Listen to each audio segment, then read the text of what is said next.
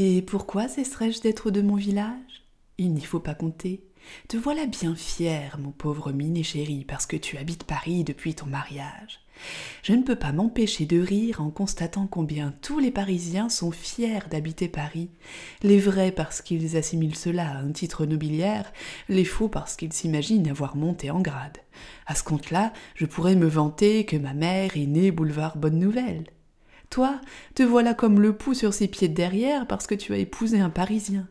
Et quand je dis un Parisien, les vrais Parisiens d'origine ont moins de caractère dans la physionomie. On dirait que Paris les efface. Elle s'interrompait, levait le rideau de tulle qui voilait la fenêtre.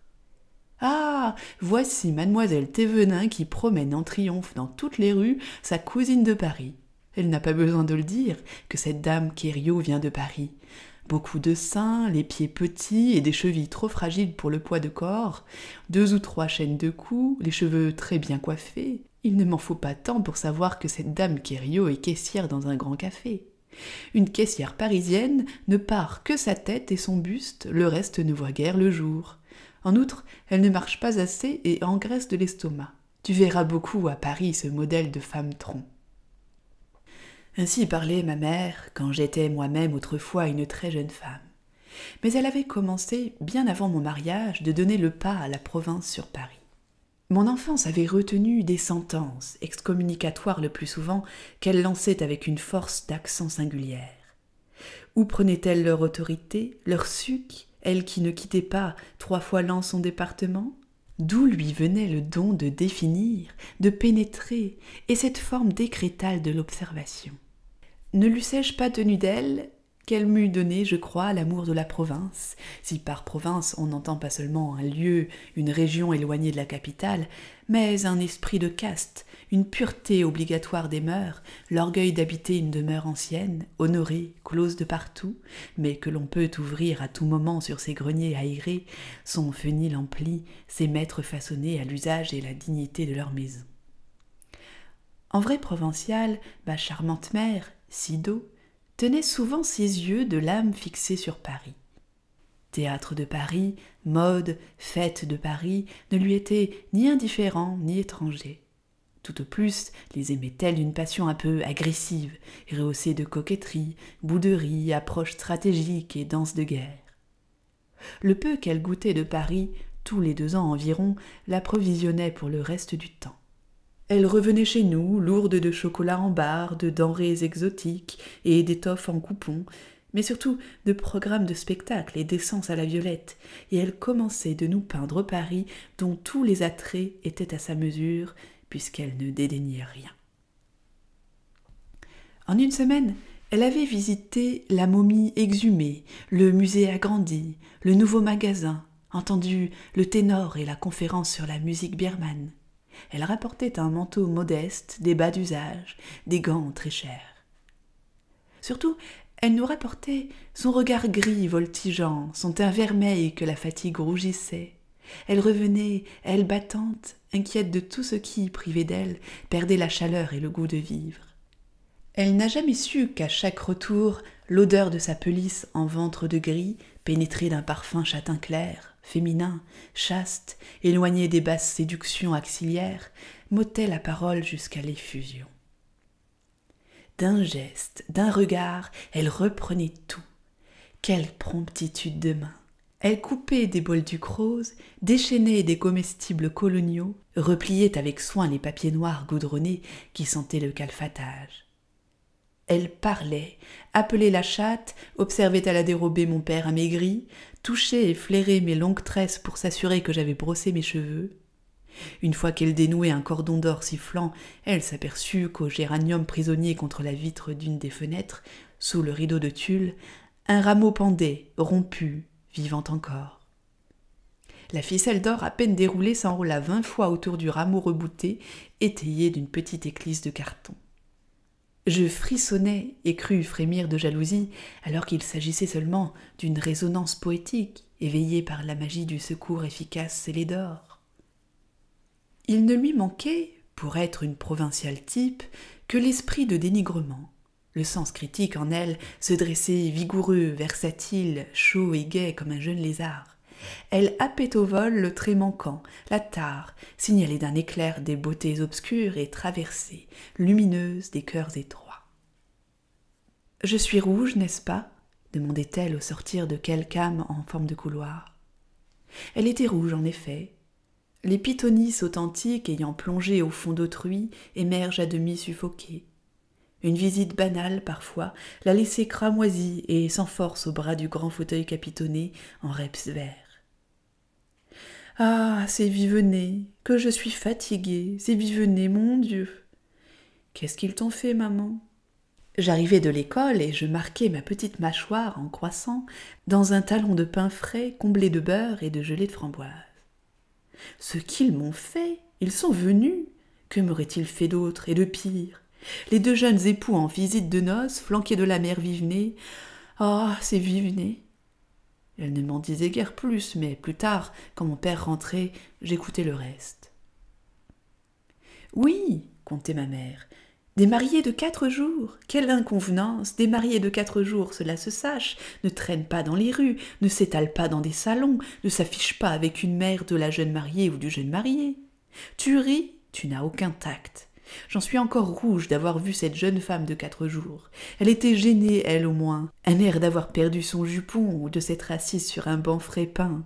Mais lui, l'homme, une horreur, des pouces d'assassin et une paire de tout petits yeux embusqués au fond de ses deux grands yeux. Il appartient à un genre d'hommes qui ont la mémoire des chiffres, qui mettent la main sur leur cœur quand ils mentent et qui ont soif l'après-midi, ce qui est un signe de mauvais estomac et de caractère acrimonieux. Pan applaudissait mon père. Bientôt j'avais mon tour pour avoir sollicité la permission de porter des chaussettes l'été. Quand auras-tu fini de vouloir imiter Mimi Antonin dans tout ce qu'elle fait chaque fois qu'elle vient en vacances chez sa grand-mère? Mimi Antonin est de Paris, et toi d'ici. C'est l'affaire des enfants de Paris de montrer l'été leurs flûtes, sans bas, et l'hiver leurs pantalons trop courts et de pauvres petites fesses rouges. Les mères parisiennes remidient à tout quand leurs enfants grelottent par un petit tour de cou en mongolie blanche. Par les très grands froids, elles ajoutent une toque assortie. Et puis, on ne commence pas à onze ans à porter des chaussettes. Avec les mollets que je t'ai faits. Mais tu aurais l'air d'une sauteuse de corde, et il ne te manquerait qu'une sébile en fer blanc. Ainsi parlait-elle, et sans chercher jamais ses mots, ni quitter ses armes. J'appelle armes ces deux paires de verres, un couteau de poche, souvent une brosse à habits, un sécateur, de vieux gants, parfois le sceptre d'osier, épanoui en raquette trilobée, qu'on nomme tapette et qui sert à fouetter les rideaux et les meubles. La fantaisie de ma mère ne pliait que devant les dates qu'on fête en province, par les nettoyages à fond, la lessive, l'embaumement des lainages et des fourrures. Mais elle ne se plaisait ni au fond des placards, ni dans la funèbre poudre du camphre, qu'elle remplaçait d'ailleurs par quelques cigares coupés en berlingot, les culots des pipes d'écume de mon père, et de grosses araignées qu'elle enfermait dans l'armoire giboyeuse, refuge des mythes d'argent. C'est qu'elle était agile et remuante, mais non ménagère appliquée, propre, nette, dégoûtée, mais loin du génie maniaque et solitaire qui compte les serviettes, les morceaux de sucre et les bouteilles pleines. La flanelle en main, et surveillant la servante qui essuyait longuement les vitres en riant aux voisins, il lui échappait des cris nerveux, d'impatients appels à la liberté. Ah, quand j'essuie longtemps et avec soin mes tasses de Chine, disait-elle, je me sens vieillir. Elle atteignait, loyale, la fin de la tâche. Alors, elle franchissait les deux marches de notre seuil, entrait dans le jardin. Sur le champ tombait son excitation morose et sa rancune. Toute présence végétale agissait sur elle comme un antidote, et elle avait une manière étrange de relever les roses par le menton pour les regarder en plein visage. Vois comme cette pensée ressemble au roi Henri VIII d'Angleterre avec sa barbe ronde, disait-elle. Au fond, je n'aime pas beaucoup ces figures de reîtres qu'ont les pensées jaunes et violettes. Dans mon quartier natal, on n'eût pas compté vingt maisons privées de jardins. Les plus mal partagées jouissaient d'une cour, plantée ou non, couverte ou non de treilles. Chaque façade cachait un jardin de derrière, profond, tenant aux autres jardins de derrière par des murs mitoyens. Ces jardins de derrière donnaient le ton au village. On y vivait l'été et on y lessivait, on y fendait le bois l'hiver, on y besognait en toute saison, et les enfants, jouant sous les hangars, perchaient sur les ridelles des chars à foin dételés. Les enclos qui jouxtaient le nôtre ne réclamaient pas de mystère la déclivité du sol, des murs hauts et vieux, des rideaux d'arbres protégeaient notre jardin d'en haut et notre jardin d'en bas. Le flanc sonore de la colline répercutait les bruits, portait d'un atoll maraîcher cerné de maisons à un parc d'agréments les nouvelles. De notre jardin, nous entendions, au sud, Miton éternuer en bêchant et parler à son chien blanc dont il teignait au 14 juillet la tête en bleu et l'arrière-train en rouge.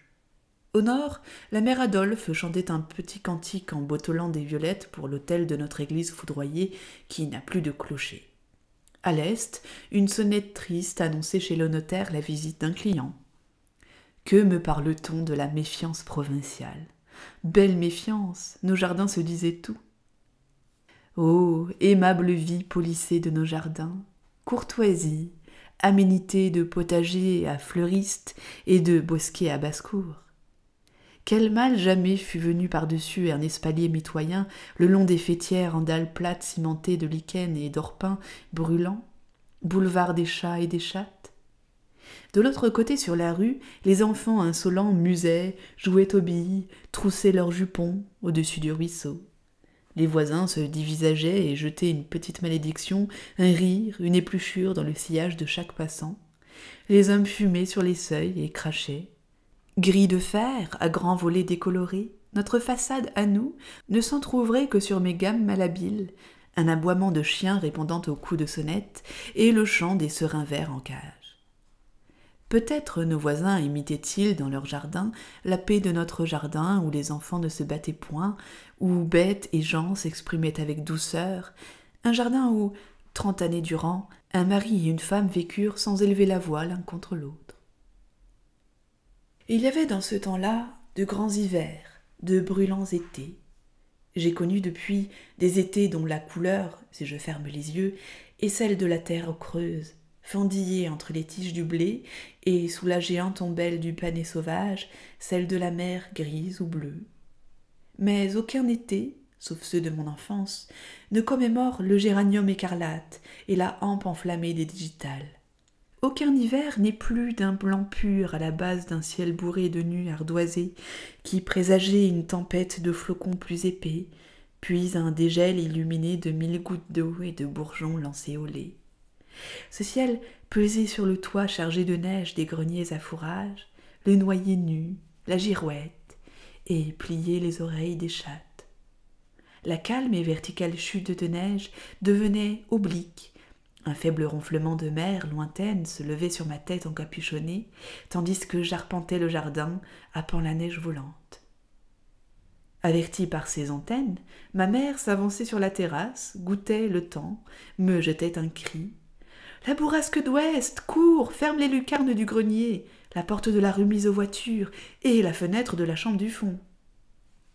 Mousse exaltée du navire natal, je m'élançai, claquant des sabots, enthousiasmé si du fond de la mêlée blanche et bleu-noir, sifflant un vif éclair, un bref roulement de foudre, enfants d'ouest et de février, comblaient tous deux un des abîmes du ciel.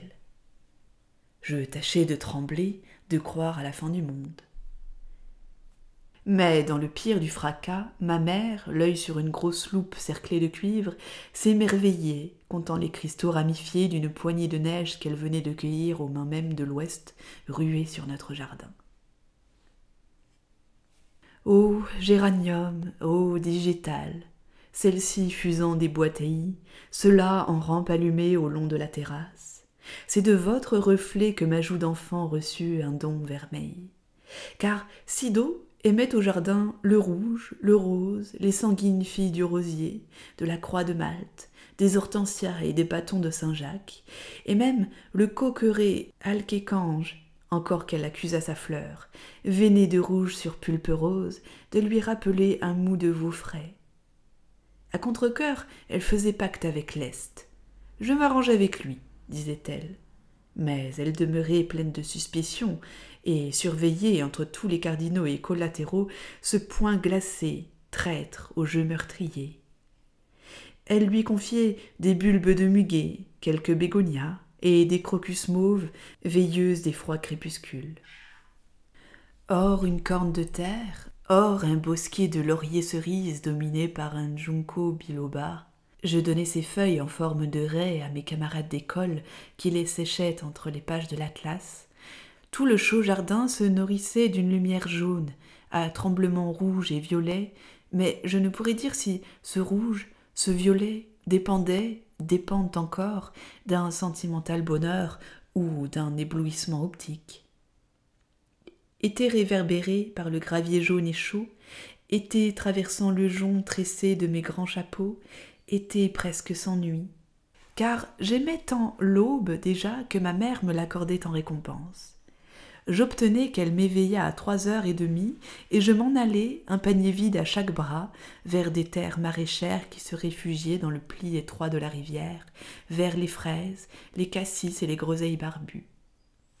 À trois heures et demie, tout dormait dans un bleu originel, humide et confus et quand je descendais le chemin de sable, le brouillard retenu par son poids baignait d'abord mes jambes, puis mon petit torse bien fait, atteignait mes lèvres, mes oreilles et mes narines plus sensibles que tout le reste de mon corps.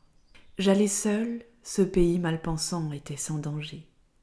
C'était sur ce chemin, c'est à cette heure, que je prenais conscience de mon prix, d'un état de grâce indicible et de ma connivence avec le premier souffle accouru, le premier oiseau, le soleil encore ovale déformé par son éclosion. Ma mère me laissait partir, après m'avoir nommé beauté, joyeux tout en or. Elle regardait courir et décroître sur la pente son œuvre. Chef-d'œuvre, disait-elle. J'étais peut-être jolie. Ma mère et mes portraits de ce temps-là ne sont pas toujours d'accord. Je l'étais à cause de mon âge et du lever du jour, à cause des yeux bleus assombris par la verdure, des cheveux blonds qui ne seraient lissés qu'à mon retour, et de ma supériorité d'enfant éveillé sur les autres enfants endormis. Je revenais à la cloche de la première messe, mais pas avant d'avoir mangé mon soul, pas avant d'avoir, dans les bois, décrit un grand circuit de chiens de chasse seuls et goûté l'eau de deux sources perdues que je révérais. L'une se haussait hors de la terre par une convulsion cristalline, une sorte de sanglot, et traçait elle-même son lit sableux. Elle se décourageait aussitôt née et replongeait sous la terre. L'autre source, presque invisible, froissait l'herbe comme un serpent, s'étalait secrète au centre d'un pré où des narcisses, fleuris en ronde, attestaient seuls sa présence. La première avait goût de feuilles de chêne, la seconde de fer et de tiges de jacinthe. Rien qu'à parler d'elles, je souhaite que leur saveur m'emplisse la bouche au moment de tout finir et que j'emporte avec moi cette gorgée imaginaire. Entre les points cardinaux auxquels ma mère dédiait des appels directs, des répliques qui ressemblaient, oui, du salon à de brefs soliloques inspirés et les manifestations généralement botaniques de sa courtoisie, entre Seb et la rue des Vignes, entre la mère Adolphe et maître de Fourolle, une zone de points collatéraux moins précise et moins proche prenait contact avec nous par des sons et des signaux étouffés. Mon imagination, mon orgueil enfantin, situait notre maison au centre d'une rose de jardin, de vent, de rayons, dont aucun secteur n'échappait tout à fait à l'influence de ma mère. Bien que ma liberté à toute heure dépendît d'une escalade facile, une grille, un mur, un toiton incliné, l'illusion et la foi me revenaient dès que j'atterrissais au retour sur le gravier du jardin. Car, après la question D'où viens-tu? et le rituel froncement de sourcils, ma mère reprenait son tranquille, son glorieux visage de jardin, beaucoup plus beau que son soucieux visage de maison. De par sa suzeraineté et sa sollicitude, les murs grandissaient, des terres inconnues remplaçaient les enclos que j'avais, sautillant de mur à mur, de branche à branche, aisément franchis. Et j'assistais au prodige familier. C'est vous que j'entends, Seb criait ma mère. Avez-vous vu ma chatte? Elle repoussait en arrière la grande capeline de paille rousse qui tombait sur son dos, retenue à son cou par un ruban de taffetas marron, et elle renversait la tête pour offrir au ciel son intrépide regard gris, son visage couleur de pomme d'automne. Sa voix frappait-elle l'oiseau de la girouette, la bondrée planante, la dernière feuille du noyer, ou la lucarne qui avalait au petit matin les chouettes? Oh, surprise, oh, certitude. D'une nuit à gauche, une voix de prophète enrhumé versait un Non, madame Colette qui semblait traverser à grand-peine une barbe en anneaux, des pelotes de brume, et glisser sur des étangs fumant de froid. Ou bien Oui, madame Colette chantait à droite une voix d'ange et grelée, probablement branchée sur le cirrus fusiforme qui naviguait à la rencontre de la jeune lune. Elle vous a entendu, elle passe par le là. Merci, criait ma mère au jugé. Si c'est vous, Seb, rendez-moi donc mon piquet, mon cordeau à repiquage. J'en ai besoin pour aligner les laitues. Et faites doucement, je suis contre les hortensias. Apport de songe, fruit d'une lévitation magique, joué de sabbat, le piquet quenouillé de ses dix mètres de cordelette voyageait par les airs, tombait couché aux pieds de ma mère. D'autres fois, elle vouait à des génies subalternes, invisibles, une fraîche offrande. Fidèle au rite, elle renversait la tête, consultait le ciel. Qui veut de mes violettes double rouge criait-elle. Moi, madame Colette répondait l'inconnaissable de l'Est, plaintif et féminin. Prenez le petit bouquet noué d'une feuille aqueuse de jonquille volait en l'air, rit avec gratitude par l'Orient plaintif.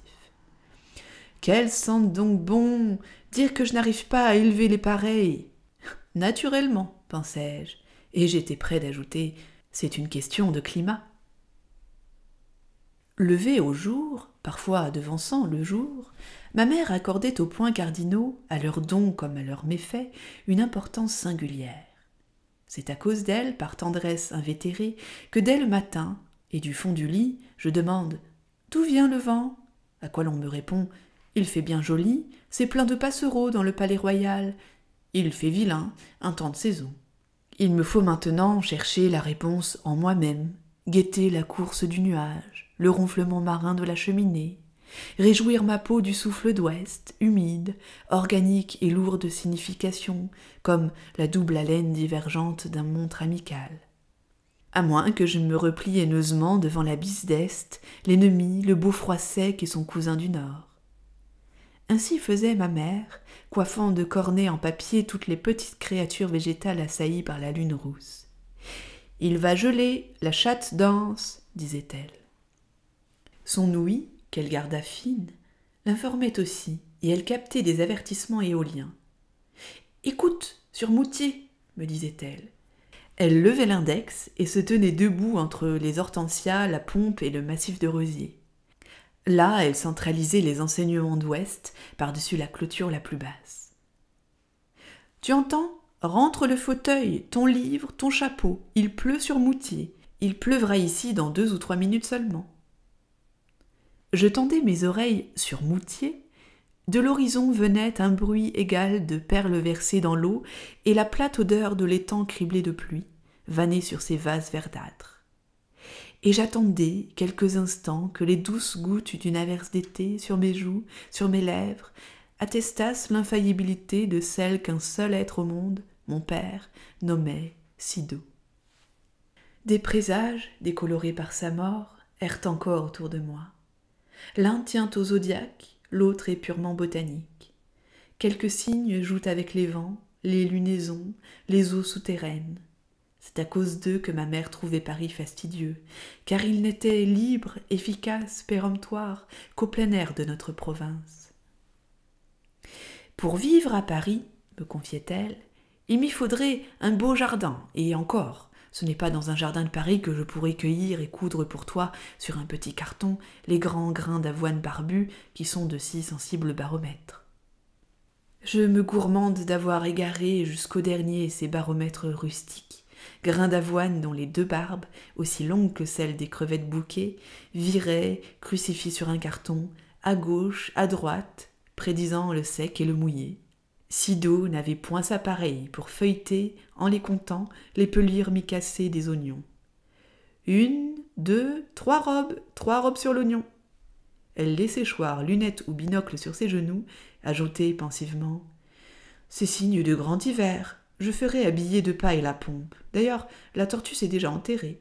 Et les écureuils autour de la guillemette ont volé les noix et les noisettes en quantité pour leurs provisions. Les écureuils savent toujours tout. Annonçait-on dans un journal le dégel? Ma mère haussait l'épaule, riait de mépris. Le dégel. Les météorologues de Paris ne m'en apprendront pas. Regarde les pattes de la chatte. Frileuse, la chatte, en effet, pliait sous elle des pattes invisibles et serrait fortement les paupières. Pour un petit froid passager, continuait Sido, la chatte se roule en turban, le nez contre la naissance de la queue. Pour un grand froid, elle gare la plante de ses pattes de devant et les roule en manchon. Sur des gradins de bois peints en vert, elle entretenait toute l'année des reposoirs de plantes en pot, géraniums rares, rosiers nains, reines des prés au panache de brume blanche et rose, quelques plantes grasses, poilues et trapues comme des crabes, des cactus meurtriers. Un angle de mur chaud, gardé des vents sévères, son musée d'essai, des godets d'argile rouge où je ne voyais que terre meuble et dormante. Ne touche pas, mais rien ne pousse. Et qu'en sais-tu? Est-ce toi qui en décides? Lis sur les fiches de bois qui sont plantées dans les pots. Ici, graines de lupin bleu, Là, un bulbe de narcisse qui vient de Hollande. Là, graines de physalis. Là, une bouture d'hibiscus. Mais non, ce n'est pas une branche morte. Et là, des semences de pois de senteur dont les fleurs ont des oreilles comme des petits lièvres. Et là, et là, et là? Ma mère rejetait son chapeau en arrière, mordillait la chaîne de son lorgnon, m'interrogeait avec ingénuité. Je suis bien ennuyée, je ne sais plus si c'est une famille de bulbes de crocus que j'ai enterrés, ou bien une chrysalide de pan de nuit. Il n'y a qu'à gratter pour voir. Une main preste arrêtait la mienne. Que n'a-t-on moulé, peint, ciselé cette main de Sido, brunie, tout gravé de rides par les travaux ménagers, le jardinage, l'eau froide et le soleil, ses doigts longs bien façonnés en pointe, ses beaux ongles ovales et bombés. À aucun prix, si c'est la chrysalide, elle mourra au contact de l'air, et si c'est le crocus, la lumière flétrira son petit rejet blanc, et tout sera à recommencer. Tu m'entends bien? Tu n'y toucheras pas? Non, maman. À ce moment, son visage, enflammé de foi, de curiosité universelle, disparaissait sous un autre visage, plus âgé, résigné et doux. Elle savait que je ne résisterais pas, moi non plus, au désir de savoir et qu'à son exemple je fouillerais jusqu'à son secret la terre du pot de fleurs. Elle savait que j'étais sa fille, moi qui ne pensais pas à notre ressemblance, et que déjà je cherchais enfant ce choc, ce battement accéléré du cœur, cet arrêt du souffle, la solitaire ivresse du chercheur de trésors. Un trésor, ce n'est pas seulement ce que couvre la terre, le roc ou la vague. La chimère de l'or et de la gemme n'est qu'un informe mirage il importe seulement que je dénude et hisse au jour ce que l'œil humain n'a pas, avant le mien, touché. J'allais donc, grattant à la dérobée le jardin d'essai, surprendre la griffe ascendante du cotylédon, le viril surgeon que le printemps chassait de sa gaine. Je contrariai l'aveugle dessin qu'au poursuit la chrysalide d'un noir brun bilieux et la précipitai d'une mort passagère au néant définitif. Tu ne comprends pas, tu ne peux pas comprendre. Tu n'es qu'une petite meurtrière de huit ans, de dix ans. Tu ne comprends rien encore à ce qui veut vivre. Je ne recevais pas, en paiement de mes méfaits, d'autres punitions. Celle-là m'était déjà d'ailleurs assez dure. Sido répugnait à toute hécatombe de fleurs. Elle qui ne savait que donner, je l'ai pourtant vue refuser les fleurs qu'on venait parfois quêter pour parer un corbillard ou une tombe. Elle se faisait dure, fronçait les sourcils et répondait non d'un air vindicatif. Mais c'est pour le pauvre monsieur Enfer qui est mort hier la nuit. La pauvre madame Enfer fait peine. Elle dit qu'elle voudrait voir partir son mari sous les fleurs, que ce serait sa consolation. Vous qui avez de si belles roses mousses, madame Colette. Mais rose mousse Quelle horreur Sur un mort Après ce cri, elle se reprenait et répétait Non, Personne n'a condamné mes roses à mourir en même temps que Monsieur Enfer. Mais elle sacrifiait volontiers une très belle fleur à un enfant très petit, un enfant encore sans parole, comme le petit qu'une mitoyenne de l'Est lui apporta par orgueil un jour dans notre jardin. Ma mère blâma le maillot trop serré du nourrisson, dénoua le bonnet à trois pièces, l'inutile fichu de laine, et contempla à l'aise les cheveux en anneaux de bronze, les joues, les yeux noirs sévères et vastes d'un garçon de dix mois, plus beau vraiment que tous les autres garçons de dix mois. Elle lui donna une rose cuisse de nymphe émue, qu'il accepta avec emportement, qu'il porta à sa bouche et suça. Puis il pétrit la fleur dans ses puissantes petites mains, lui arracha les pétales, rebordés et sanguins à l'image de ses propres lèvres. Attends, vilain dit sa jeune mère. Mais la mienne applaudissait des yeux et de la voix au massacre de la rose, et je me taisais, jalouse.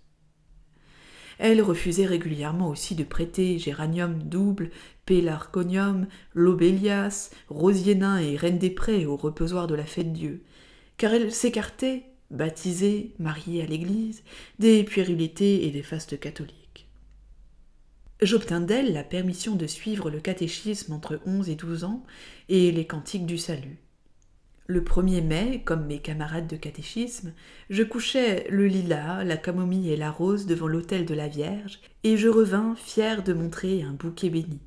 Ma mère rit de son rire irrévérencieux, regarda ma gerbe qui attirait les hannetons au salon jusque sous sa lampe.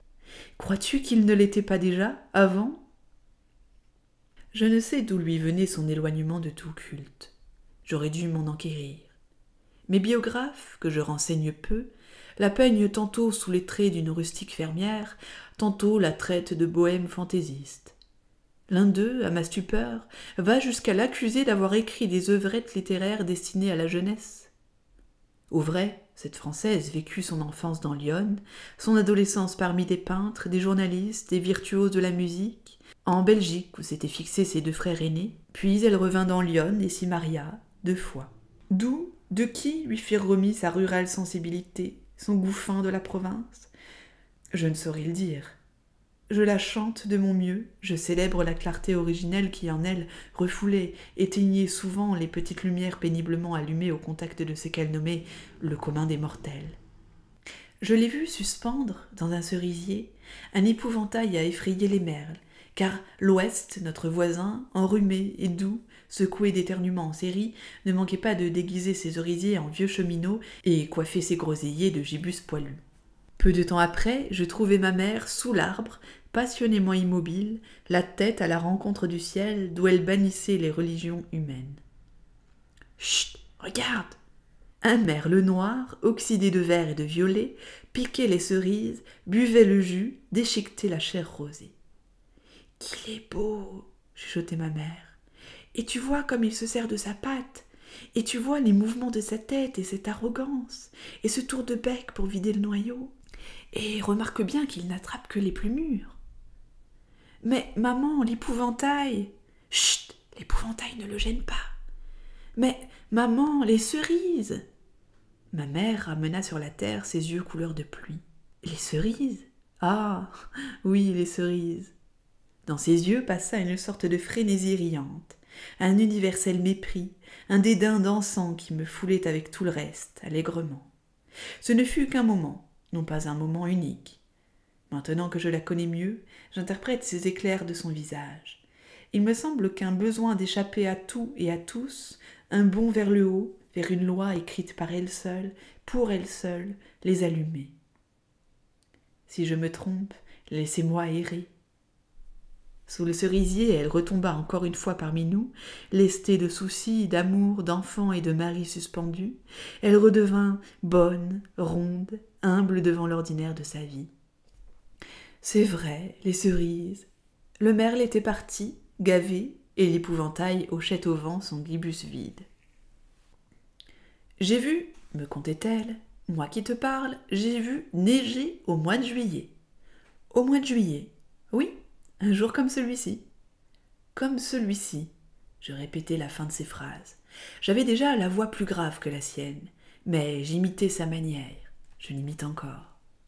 Oui, comme celui-ci, dit ma mère en soufflant sur un flocon impondérable d'argent arraché au pelage de la chienne havanaise qu'elle peignait. Le flocon, plus fin que le verre filé, s'embarqua mollement sur un petit ruisseau d'air ascendant, monta jusqu'au toit, se perdit dans un excès de lumière. Il faisait beau, reprit ma mère, beau et bon. Vint une saute de vent, une queue d'orage que la saute de vent emmena et bloqua sur l'est naturellement, une petite grêle très froide, puis une chute de grosse neige épaisse et lourde. Des roses couvertes de neige, des cerises mûres et des tomates sous la neige, des géraniums rouges qui n'avaient pas eu le temps de refroidir et qui fondaient la neige à mesure qu'elle les couvrait. Ce sont des tours de celui-là. Elle désignait du coude et menaçait du menton le siège altier, l'invisible lit de justice de son ennemi, l'Est, que j'ai cherché par-delà les chaudes nues croulantes et blanches du bel été. Mais j'ai vu bien autre chose, reprenait ma mère. Autre chose. Peut-être avait-elle rencontré un jour, montant vers Bel Air ou sur la route de Thury, l'Est lui-même. Peut-être un grand pied violacé, la margelée d'une prunelle immense, avait-il, pour qu'elle me les décrivît, divisé les nuages J'étais grosse de ton frère Léo, et je promenais la jument avec la Victoria. La même jument que maintenant? Naturellement la même jument. Tu n'as que dix ans. Crois-tu qu'on change de jument comme de chemise? La nôtre était alors une très belle jument, un peu jeune, que je laissais quelquefois mener par Antoine. Mais je montais dans la Victoria pour la rassurer. Je me souviens que je voulus demander pour rassurer qui? Je me retins, jalouse de garder intacte la foi et l'incertitude d'une équivoque. Pourquoi la présence de ma mère n'eût-elle pas rassuré la Victoria? Tu comprends, quand elle entendait ma voix, elle se sentait plus tranquille. Mais certainement, très tranquille et tout étalée, en drap bleu entre ses deux lanternes riches, à couronne de cuivre découpée en trèfle, une figure de Victoria tranquillisée, parfaitement. Dieu, que tu as l'air bête en ce moment, ma fille. Tu m'écoutes? Oui, maman. Donc nous avions fait un grand tour, par une de ces chaleurs. J'étais énorme et je me trouvais lourde. Nous rentrions au pas, et j'avais coupé des genêts fleuris, je me rappelle. Nous voilà arrivés à la hauteur du cimetière. Non, ce n'est pas une histoire de revenant. Quand un nuage, un vrai nuage du sud, marron roux avec un petit ourlet de mercure tout autour, se met à monter plus vite dans le ciel, tonne un bon coup et crève en eau comme un seau percé. Antoine descend et veut lever la capote pour m'abriter. Je lui dis Non, le plus pressé, c'est de tenir la jument à la tête. Si la grêle vient, elle s'emballera pendant que vous lèverez la capote. Il tient la jument, qui dansait un peu sur place, mais je lui parlais, tu comprends, comme s'il n'avait pas plu ni tonné. Je lui parlais sur un ton de beau temps et de promenade au pas et je recevais un agar d'eau incroyable sur ma malheureuse petite ombrelle en soie. Le nuage passé, j'étais assise dans un bain de siège, Antoine trempé et la capote pleine d'eau, d'une eau chaude, une eau à 18 ou 20 degrés. Et quand Antoine a voulu vider la capote, nous y avons trouvé quoi? Des grenouilles minuscule, vivante, au moins trente grenouilles apportées à travers les airs par un caprice du sud, par une trompe chaude, une de ces tornades dont le pied en pas de vis ramasse et porte à cent lieues un panache de sable, de graines, d'insectes. J'ai vu cela, moi, oui. Elle brandissait le peigne de fer qui servait à carder la chevelure de la havanaise et les angouras. Elle ne s'étonnait pas que des prodiges météorologiques l'eussent attendue au passage, et tutoyer. Vous croirez sans peine qu'à l'appel de Sido, le vent du sud se levait devant les yeux de mon âme, tord sur son pas de vis, empanaché de graines, de sable, de papillons morts, racinés au désert de Libye. Sa tête indistincte et désordonnée s'agitait, secouant l'eau et la pluie de grenouilles tièdes. Je suis capable encore de le voir. Mais que tu as donc l'air bête aujourd'hui, ma fille? D'ailleurs, tu es beaucoup plus jolie quand tu as l'air bête. C'est dommage que cela t'arrive si rarement. Tu pêches déjà, comme moi, par excès d'expression. J'ai toujours l'air, quand j'ai garmondé, d'avoir perdu un parent bien-aimé. Quand tu prends l'air bête, tu as les yeux plus grands, la bouche entr'ouverte, et tu rajeunis. À quoi penses-tu? À rien, maman. Je ne te crois pas, mais c'est très bien imité, vraiment très bien, ma fille. Tu es un miracle de gentillesse et de fadeur. Je tressaillais, je rougissais sous la louange piquante, l'œil acéré, la voix au final haute et juste. Elle ne m'appelait ma fille que pour souligner une critique ou une réprimande. Mais la voix, le regard étaient prompts à changer. Oh, mon joyau tout en or, ce n'est pas vrai. Tu n'es ni bête ni jolie. Tu es seulement ma petite fille incomparable. Où vas-tu? Comme à tous les inconstants, l'absolution me donnait des ailes et, dûment embrassée, légère, j'apprêtais déjà ma fuite. Ne t'en va pas loin à cette heure-ci. Le soleil se couche dans. Elle ne consultait pas la montre, mais la hauteur du soleil sur l'horizon, et la fleur du tabac, ou le datura, assoupi sous le jour et que le soir éveillait. Dans une demi-heure, le tabac blanc embaume déjà. Veux-tu porter des aconites, des encolies et des campanules chez Adrienne Saint-Aubin et lui rendre la revue des deux mondes? Change de ruban, mets-en un bleu pâle. Tu as un teint pour le bleu pâle ce soir. Changer de ruban. Jusqu'à l'âge de vingt-deux ans, on m'a vu coiffer de ce large ruban noué autour de ma tête. À la j'ai le brun, disait ma mère, et porter un message de fleurs. Ainsi, ma mère m'avertissait que j'étais, pendant une heure, un jour particulièrement jolie, et qu'elle s'enorgueillissait de moi. Le ruban en papillon épanoui au-dessus du front, quelques cheveux ramenés sur les tempes, je prenais les fleurs à mesure que Sido les coupait. Maintenant, va, donne les encolies doubles à Adrienne Saint-Aubin. Le reste à qui tu voudras dans notre voisinage. Sur l'Est, il y a quelqu'un de malade, la mère Adolphe. Si tu entres chez elle. Elle n'avait pas le temps de finir sa phrase que je reculais d'un saut, renaclant comme une bête devant l'odeur et l'image de la maladie. Ma mère me retenait par le bout d'une de mes tresses, et son soudain visage sauvage, libre de toute contrainte, de charité, d'humanité, bondissait hors de son visage quotidien. Elle chuchotait. Tais-toi, je sais, moi aussi, mais il ne faut pas le dire, il ne faut jamais le dire. Va, va maintenant. Tu t'es encore mis cette nuit un papier à papillotes sur le front, hein, Matine? Enfin.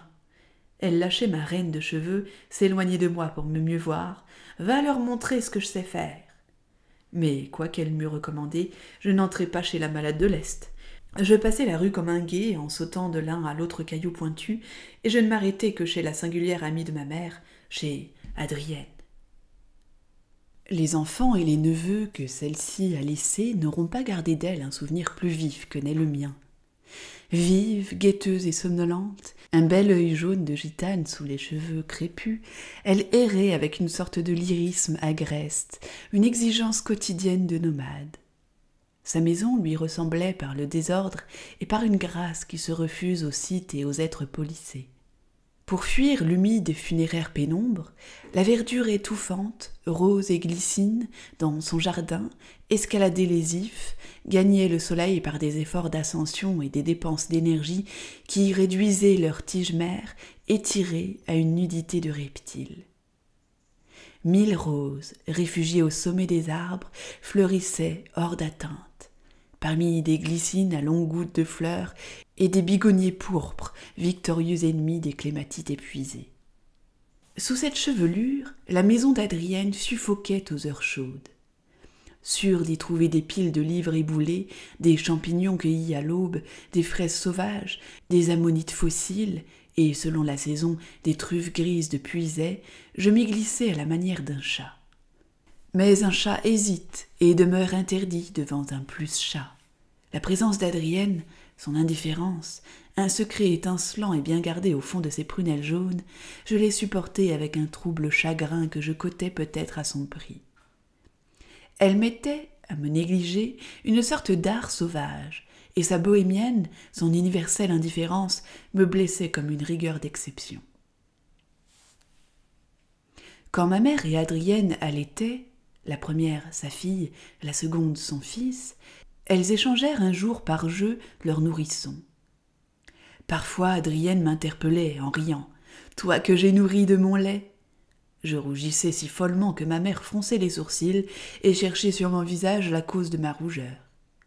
Comment dérober à ce lucide regard, gris de l'âme et menaçant, l'image qui me tourmentait, le sein brun d'Adrienne et sa cime violette et dure? Oublié chez Adrienne entre des cubes vacillants de livres, toute la collection de la Revue des Deux Mondes, entre autres, entre les tomes innombrables d'une vieille bibliothèque médicale à odeur de cave, entre des coquillages géants, des simples à demi secs, des pâtés de chats aigris, le chien perdreau, le matou noir à masque blanc qui s'appelait Colette et mangeait le chocolat cru, je tressaillais à un appel venu par-dessus les ifs, entravés de roses et les tuyas éthiques que paralysait un piton de glycine. Dans notre maison, surgissant d'une fenêtre comme pour annoncer le feu ou les voleurs, ma mère criait mon nom. Étrange culpabilité d'une enfant sans reproche, je courais, j'apprêtais un air simple, un essoufflement détourdi. Si longtemps chez Adrienne Pas un mot de plus, mais quel accent Tant de clairvoyance et de jalousie en Sido, tant de confusion en moi, refroidir, à mesure que je grandissais, l'amitié des deux femmes. Elles n'eurent jamais d'altercation, rien ne s'expliqua entre ma mère et moi. Qu'eussions-nous expliqué Adrienne se gardait de m'attirer ou de me retenir. Ce n'est pas toujours par l'amour que la captation commence. J'avais dix ans, onze ans. Il m'a fallu beaucoup de temps pour que j'associasse un gênant souvenir, une certaine chaleur de cœur, la déformation féerique d'un être et de sa demeure, à l'idée d'une première séduction. Sido et mon enfance, l'une et l'autre, l'une par l'autre, furent heureuses au centre de l'imaginaire étoile à huit branches, dont chacune portait le nom d'un des points cardinaux et collatéraux. Ma douzième année vit arriver la mauvaise fortune, les départs, les séparations. Réclamée par de quotidiens et secrets héroïsmes, ma mère appartint moins à son jardin, à sa dernière enfant. J'aurais volontiers illustré ces pages d'un portrait photographique. Mais il m'eût fallu une Sido debout, dans le jardin, entre la pompe, les hortensias, le frêne pleureur et le très vieux noyer. Là, je l'ai laissé, quand je dus quitter ensemble le bonheur et mon plus jeune âge. Là, je l'ai pourtant revu, un moment furtif du printemps 1928, Inspirée et le front levé, je crois qu'à cette même place, elle convoque et recueille encore les rumeurs, les souffles et les présages qui accourent à elle, fidèlement par les huit chemins de la rose des vents. Cela me semble étrange à présent que je l'ai si peu connue. Mon attention, ma ferveur tournée vers Sido, ne s'en détachait que par caprice. Ainsi faisait-il, lui, mon père il contemplait Sido. En y réfléchissant, je crois qu'elle aussi l'a mal connue. Elle se contentait de quelques grandes vérités encombrantes. Il l'aimait sans mesure, il la ruina dans le dessein de l'enrichir, elle l'aimait d'un invariable amour, le traitait légèrement dans l'ordinaire de la vie, mais respectait toutes ses décisions. Derrière ces évidences aveuglantes, un caractère d'homme n'apparaissait que par échappée. Enfant, qu'ai-je su de lui? Qu'il construisait pour moi à ravir des maisons de hanneton avec fenêtres et portes vitrées et aussi des bateaux, qu'il chantait, qu'il dispensait et cachait les crayons de couleur, le papier blanc, les règles en palissandre, la poudre d'or, les larges pains à cacheter blancs que je mangeais à poignées. Qu'il nageait, avec sa jambe unique, plus vite et mieux que ses rivaux à quatre membres. Mais je savais aussi qu'il ne s'intéressait pas beaucoup en apparence du moins, à ses enfants. J'écris en apparence. La timidité étrange des pères, dans leur rapport avec leurs enfants, m'a donné depuis beaucoup à penser. Les deux aînés de ma mère, fille et garçon, issus d'un premier mariage, celle-là égarée dans le roman, à peine présente, habitée par les fantômes littéraires des héros, celui-ci altier, tendre en secret, l'ont gêné. Il croyait naïvement que l'on conquiert un enfant par des dons. Il ne voulut pas reconnaître sa fantaisie musicienne et nonchalante dans son propre fils, le Lazarone, comme disait ma mère. C'est à moi qu'il accorda le plus d'importance. J'étais encore petite quand mon père commença d'en appeler mon sens critique. Plus tard, je me montrai, Dieu merci, moins précoce. Mais quelle intransigeance, je m'en souviens chez ce juge de dix ans. Écoute ça, disait mon père. J'écoutais, sévère. Il s'agissait d'un beau morceau de prose oratoire ou d'une ode, vers facile, fastueux par le rythme, par la rime, sonore comme un orage de montagne. Hein? interrogeait mon père. Je crois que cette fois-ci. Eh bien, parle Je hochai ma tête et mes nattes blondes, mon front trop grand pour être aimable et mon petit menton en bille, et je laissai tomber mon blâme. Toujours trop d'adjectifs. Alors mon père éclatait, écrasé d'invectives la poussière, la vermine, le pouls vaniteux que j'étais. Mais la vermine, imperturbable, ajoutait Je te l'avais déjà dit la semaine dernière pour l'ode à Paul Berthe, trop d'adjectifs. Il devait derrière moi rire et peut-être s'enorgueillir, mais au premier moment nous nous toisions en égaux et déjà contre-fraternels. C'est lui, à n'en pas douter, c'est lui qui me domine quand la musique, un spectacle de danse, et non les mots, jamais les mots, mouille mes yeux. C'est lui qui se voulait faire jour et revivre quand je commençais obscurément d'écrire et qui me valut le plus acide éloge, le plus utile à coup sûr. Aurais-je épousé la dernière des lyriques? Lyrisme paternel, humour, spontanéité maternelle, mêlés, superposés, je suis assez sage à présent, assez fière pour les départager en moi, toute heureuse d'un délitage où je n'ai à rougir de personne ni de rien. Oui, tous quatre, nous autres enfants, nous avons gêné mon père. En est-il autrement dans les familles où l'homme, passant l'âge de l'amour, demeure épris de sa compagne? Nous avons, toute sa vie, troublé le tête-à-tête que mon père rêvait. L'esprit pédagogique peut rapprocher un père de ses enfants. À défaut d'une tendresse, beaucoup plus exceptionnelle qu'on donne admet généralement, un homme s'attache à ses fils par le goût orgueilleux d'enseigner. Mais Jules Joseph Colette, homme instruit, ne faisait parade d'aucune science. Pour elle, il avait d'abord aimé briller, jusqu'au jour où, l'amour grandissant, mon père quitta jusqu'à l'envie d'éblouir Sido. J'irai droit au coin de terre où fleurissaient les personnages dans le jardin. La rose, le treillage qu'il a porté, je les peindrai de mémoire, ainsi que le trou dans le mur, la dalle usée. La figure de mon père, reste indécise, intermittente. Dans le grand fauteuil de repos, il est resté assis. Les deux miroirs ovales du pince-nez ouvert brillent sur sa poitrine, et sa singulière lèvre en margelle dépasse un peu, rouge, sa moustache qui rejoint sa barbe. Là, il est fixé, à jamais. Mais ailleurs, il erre et flotte, troué, barré de nuages, visible par fragments. Sa main blanche ne saurait m'échapper, surtout depuis que je tiens mal mon pouce en dehors comme lui, et que, comme cette main, mes mains froisses, roulent, anéantissent le papier avec une fureur explosive. Et la colère donc. Je ne parlerai pas de mes colères qui me viennent de lui. Mais qu'on aille voir seulement à Saint-Sauveur l'état dans lequel mon père mit, de deux coups de son pied unique, le chambranle de la cheminée en marbre. J'épelle en moi ce qui est l'apport de mon père, ce qui est la part maternelle. Le capitaine Colette n'embrassait pas les enfants. Sa fille prétend que le baiser les fane. S'il m'embrassait peu, du moins il me jetait en l'air jusqu'au plafond que je repoussais de mes deux mains et des genoux, et je criais de joie. Sa force musculaire était grande, ménagée et dissimulée d'une manière féline, et sans doute entretenue par une frugalité qui déconcertait nos bas bourguignons, du pain, du café, beaucoup de sucre, un demi-verre de vin, force tomates, des aubergines. Il se résigna à prendre un peu de viande comme un remède, passé soixante-dix ans. Sédentaire, ce méridional, tout blanc dans sa peau de satin, n'engraissa jamais. Italien, homme au couteau ainsi invectivait ma mère, quand elle n'était pas contente de lui ou bien quand l'extraordinaire jalousie de son fidèle amant se faisait jour. De fait, s'il n'a jamais tué personne, un poignard, dont le manche de corne cachait un ressort, ne quittait jamais la poche de mon père, qui méprisait l'arme à feu. Les fausses colères du midi tiraient de lui des grondements, des jurons grandiloquents, auxquels nous n'accordions aucune importance. Mais comme j'ai frémi une fois d'entendre mélodieuse la voix de sa fureur véritable, j'avais onze ans.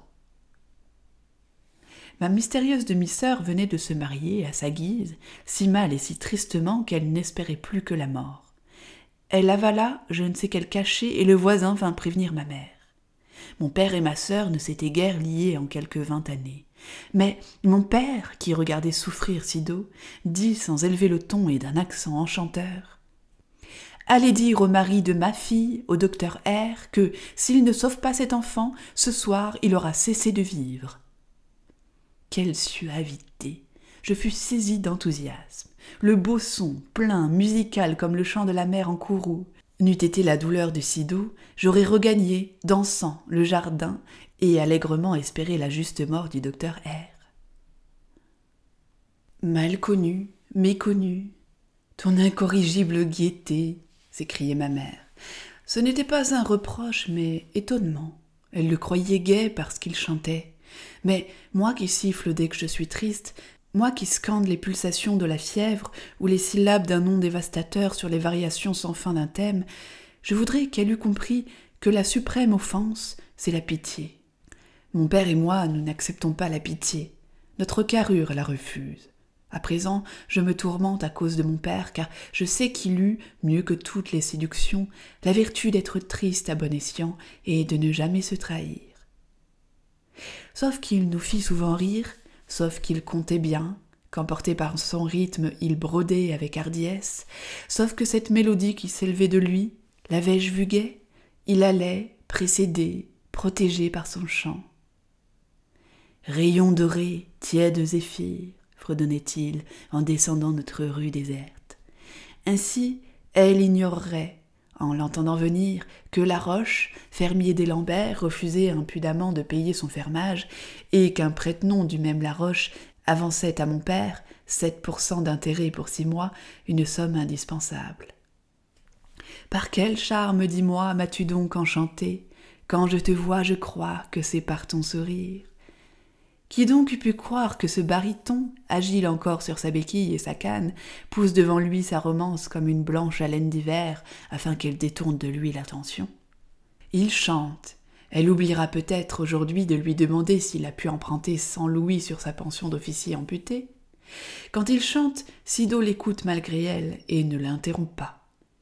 Les rendez-vous de noble compagnie se donnent tous dans ce charmant séjour, et doucement on y passe la vie, et doucement on y passe la vie, en célébrant le champagne et l'amour, en célébrant le champagne et l'amour, en célébrant le champagne et l'amour. S'il jette trop haut, au mur de la rue de l'hospice, le gruppetto, le point d'orgue final et quelques cocottes de fantaisie, ma mère apparaît sur le seuil, scandalisée, riante. Oh, Colette, dans la rue et moyennant peut-être deux ou trois grivoiseries du genre ordinaire, décochées à une jeune voisine, Sido froncera son sourcil clairsemé de Joconde et chassera d'elle le douloureux refrain qui ne franchit pas ses lèvres. Il va falloir vendre la forge, vendre la forge, mon Dieu, vendre la forge aussi, après les Mets, les Cholins, les Lambert. Gai? Et pourquoi eût-il été sincèrement gai? Il avait besoin de vivre au sein d'une chaude approbation, après avoir eu besoin dans sa jeunesse de mourir publiquement et avec gloire. Réduit à son village et à sa famille, envahi et borné par son grand amour, il livra le plus vrai de lui-même à des étrangers, à des amis lointains. Un de ses compagnons d'armes, le colonel Gaucho, vit encore et garde des lettres, redit des mots du capitaine Colette.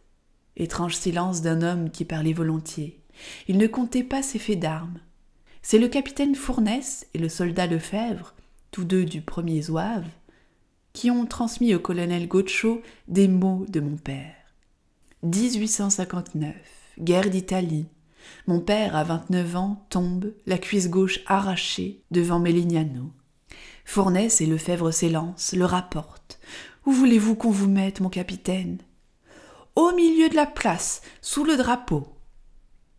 Il n'a compté, à aucun des siens, cette parole, cette heure où il espéra mourir parmi le tonnerre et l'amour des hommes. Il ne nous a jamais dit, à nous, comment il gisait à côté de son vieux maréchal, MacMahon. Il ne m'a jamais parlé à moi de la seule longue et grave maladie qui m'est atteinte. Mais voici que des lettres de lui, je l'apprends vingt ans après sa mort, sont pleines de mon nom, du mal de la petite, Trop tard, trop tard, c'est le mot négligent des enfants et des ingrats. Non que je me sente plus coupable qu'une autre enfant, au contraire. Mais n'aurais-je pas dû forcer, quand il était vivant, sa dignité goguenarde, sa frivolité de commande? Ne valions-nous pas, lui et moi, l'effort réciproque de nous mieux connaître? Il était poète et citadin, la campagne où ma mère semblait se sustenter de toute sève et reprendre vie chaque fois qu'en se baissant elle en touchait la terre, éteignait mon père, qui s'y comporta en exilé. Elle nous sembla parfois scandaleuse, la sociabilité qu'il appelait vers la politique des villages, les conseils municipaux, la candidature au conseil général, vers les assemblées, les comités régionaux, où l'humaine rumeur répond à la voix humaine. Injuste, nous lui en voulions vaguement de ne pas assez nous ressembler, à nous qui nous dilations d'aise loin des hommes. Je m'avise à présent qu'il cherchait à nous plaire lorsqu'il organisait des parties de campagne, comme font les habitants des villes. La vieille Victoria bleue emportait famille, victuailles et chiens jusqu'au bord d'un étang, Moutier, Chassin ou la jolie flaque forestière de la Guillemette qui nous appartenait. Mon père manifestait le sens du dimanche, le besoin urbain de fêter un jour entre les sept jours, au point qu'il se munissait de canne à pêche et de sièges pliants. Au bord de l'étang, il essayait une humeur joviale, qui n'était pas son humeur joviale de la semaine. Il débouchait plaisamment la bouteille de vin, s'accordait une heure de pêche à la ligne, lisait, dormait un moment, et nous nous ennuyions, nous autres, Sylvain au pied léger, entraînés à battre le pays sans voiture et regrettant, devant le poulet froid, nos encas de pain frais, d'ail et de fromage. La libre forêt, l'étang, le ciel double exaltaient mon père mais à la manière d'un noble décor. Plus il évoquait le bleu Titarès et le golfe d'argent, plus nous devenions taciturnes. Je parle des deux garçons et de moi, nous qui n'accordions déjà plus d'autres aveux à notre culte bocagé que le silence. Assise au bord de l'étang, entre son mari et ses enfants sauvages, Seule ma mère semblait recueillir mélancoliquement le bonheur de compter, gisant contre elle, sur l'herbe fine et jonceuse rougie de bruyère, ses bien-aimés. Loin du coup de sonnette importun, loin de l'anxieux fournisseur impayé, loin des voix cauteleuses, un cirque parfait de bouleaux et de chaînes enfermés, j'excepte l'infidèle fille aînée, son œuvre et son tourment. Courant en risée sur les cimes des arbres, le vent franchissait la brèche ronde, touchait rarement l'eau. Les dômes des mousserons rosés crevaient le léger terreau, gris d'argent qui nourrit les bruyères, et ma mère parlait de ce qu'elle et moi nous aimions le mieux. Elle comptait les sangliers des anciens hivers, les loups encore présents dans la puisée et la forterre, le loup d'été, maigre, qui suivit cinq heures durant la Victoria. Si j'avais su quoi lui donner à manger, il aurait bien mangé du pain. À toutes les côtes, il s'asseyait pour laisser à la voiture son avance d'un cinquième de mètre. De le sentir, la jument était furieuse. Un peu plus, c'est elle qui l'eût attaqué. Tu n'avais pas peur? Peur? Non. Ce pauvre grand loup gris, sec, affamé, sous un soleil de plomb. D'ailleurs, j'étais avec mon premier mari. C'est lui aussi, mon premier mari, qui, en chassant, a vu le renard noyer ses puces une touffe d'herbe entre les dents, le renard est entré le derrière le premier, peu à peu, dans l'eau jusqu'au museau. Paroles innocentes, enseignements maternels que donnent aussi à leurs petits l'hirondelle, la mère lièvre, la chatte, récits délicieux dont mon père ne retenait qu'un mot, mon premier mari, et il appuyait sur Sido ce regard bleu-gris dans lequel personne n'a jamais pu lire. Que lui importait d'ailleurs le renard, le muguet, la bémure, l'insecte? Il les aimait dans des livres, nous disaient leurs noms scientifiques, et dehors les croisait sans les reconnaître. Il louait, sous le nom de rose, toute corolle épanouie, il prononçait l'eau bref à la provençale en pinçant entre le pouce et l'index une rose invisible. Le soir tombait enfin sur notre dimanche au champ. De cinq, nous n'étions souvent plus que trois, mon père, ma mère et moi. Le rempart circulaire des bois assombris avait résorbé les deux longs garçons osseux, mes frères. Nous les rattraperons sur la route en revenant, disait mon père. Mais ma mère secouait la tête. Ces garçons ne rentraient que par des sentes de traverse, des prés marécageux et bleus, coupant par les sablières, les ronciers, ils sautaient le mur au fond du jardin. Elle se résignait à les trouver chez nous, à la maison, un peu saignants, un peu loqueteux. Elle reprenait sur l'herbe les reliefs du repas, quelques champignons frais cueillis, le nid de mes anges vides, la cartilagineuse éponge cloisonnée, œuvre d'une colonie de guêpes, le bouquet sauvage, des cailloux empreints d'ammonites fossiles, le grand chapeau de la petite, et mon père, encore agile, remonté d'un saut d'échassier dans la Victoria. C'est ma mère qui caressait la jument noire, qui offrait à ses dents jaunies des pousses tendres, et qui essuyait les pattes du chien pataugeur. Je n'ai jamais vu mon père toucher un cheval. Nulle curiosité ne l'a attiré vers un chat, penché sur un chien, jamais un chien ne lui a obéi. Allons, monte ordonnait à Mofino la belle voix du capitaine. Mais le chien, contre le marchepied de la voiture, battait de la queue froidement et regardait ma mère. Monte, animal, qu'est-ce que t'attends? répétait mon père. J'attends l'ordre, semblait répondre le chien. Hé, saute lui criai-je. Il ne se le faisait pas dire deux fois. C'est très curieux, constatait ma mère. Ça prouve seulement la bêtise de ce chien, répliquait mon père. Mais nous n'en croyons rien, nous autres, et mon père, au fond, se sentait secrètement humilié. Les genêts jaunes, bottelés, faisaient queue de pan derrière nous dans la capote de la vieille voiture.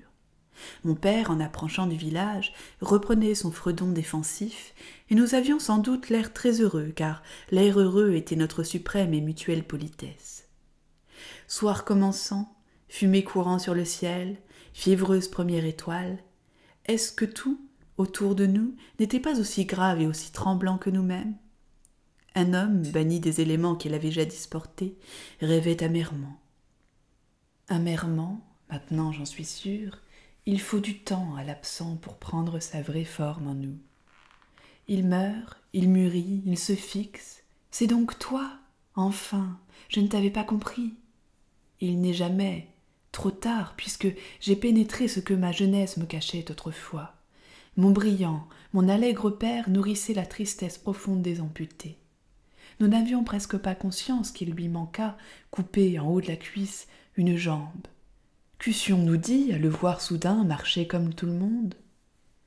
Ma mère elle-même ne l'avait connu qu'étayé de béquilles, preste et rayonnant d'insolence amoureuse.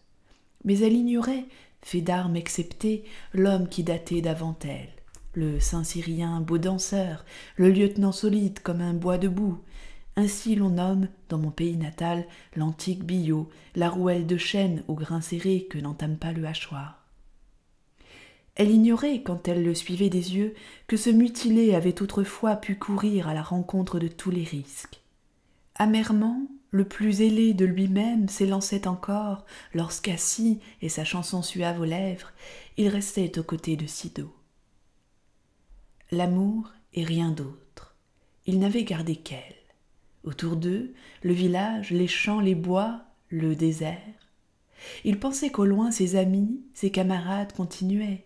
D'un voyage à Paris, il revint l'œil voilé parce que Davoud Estat, grand chancelier de la Légion d'honneur, lui avait enlevé son ruban rouge pour le remplacer par une rosette. Tu ne pouvais pas me la demander, vieux?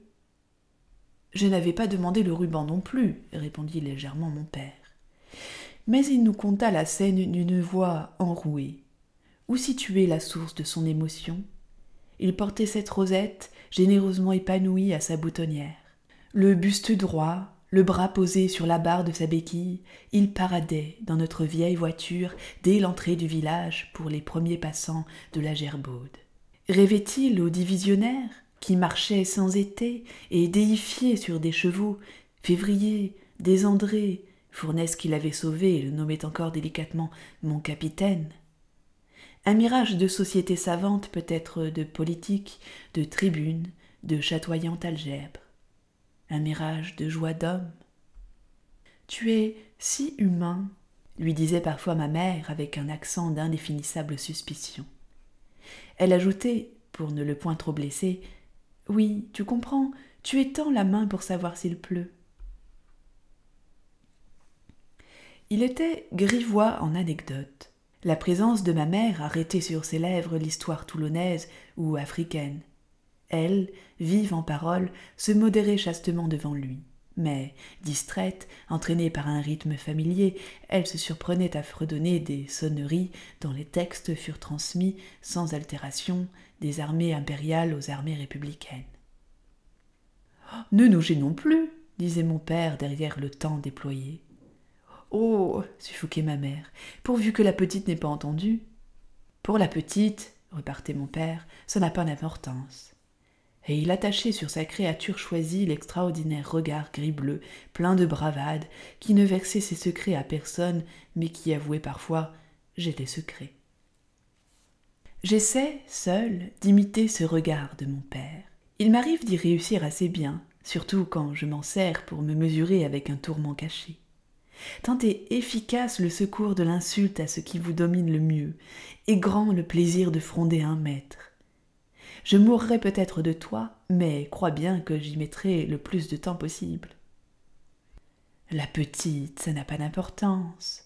Quelle candeur, voyez, et comme il butait contre son amour, son seul amour. Je lui plaisais cependant, par des traits où il se fût reconnu, mais il me distinguait mal. Il perdait peu à peu le don d'observer, la faculté de comparer. Je n'avais pas plus de treize ans quand je remarquai que mon père cessait de voir, au sens terrestre du mot, sa Sido elle-même. Encore une robe neuve s'étonnait-il. Peste, madame Interloqué, Sido le reprenait sans gaieté. Neuve Colette, voyons, où as-tu les yeux? Elle pinçait entre deux doigts une soie élimée, une visite perlée de jais. Trois ans, Colette, tu m'entends? Elle a trois ans, et ce n'est pas fini, ajoutait-elle avec une hâte fière. Teinte en bleu marine. Mais il ne l'écoutait plus, et l'avait déjà jalousement rejointe dans quelque lieu élu où elle portait chignon à boucle anglaise et corsage ruché de tulle ouvert en cœur. En vieillissant, il ne tolérait même plus qu'elle eût mauvaise mine, qu'elle fût malade, il lui jetait des Allons, allons, comme un cheval qu'il avait seul le droit de surmener, et elle allait. Je ne les ai jamais surpris à s'embrasser avec abandon, d'où leur venait tant de pudeur. De Sido, assurément. Mon père n'y eût pas mis tant de façon. Attentif à tout ce qui venait d'elle, il écoutait son pas vif, l'arrêtait au passage. Paye, lui ordonnait-il en désignant sa pommette nue au-dessus de sa barbe. Ou on ne passe pas. Elle payait, au vol, d'un baiser vif comme une piqûre, et s'enfuyait, irrité, si mes frères ou moi l'avions vu payer.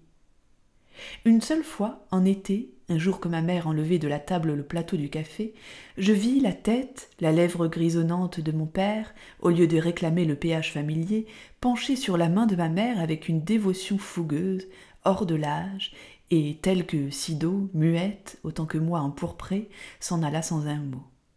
J'étais petite encore, assez vilaine, occupée comme on l'est à treize ans de toutes choses dont l'ignorance pèse, dont la découverte humilie. Il me fut bon de connaître et de me remettre en mémoire par moments cette complète image de l'amour. Une tête d'homme, déjà vieux, abîmée dans un baiser sur une petite main de ménagère, gracieuse et ridée. Il trembla, longtemps, de la voir mourir avant lui. C'était une pensée commune aux amants, aux époux bien épris, un souhait sauvage qui bannit toute idée de pitié.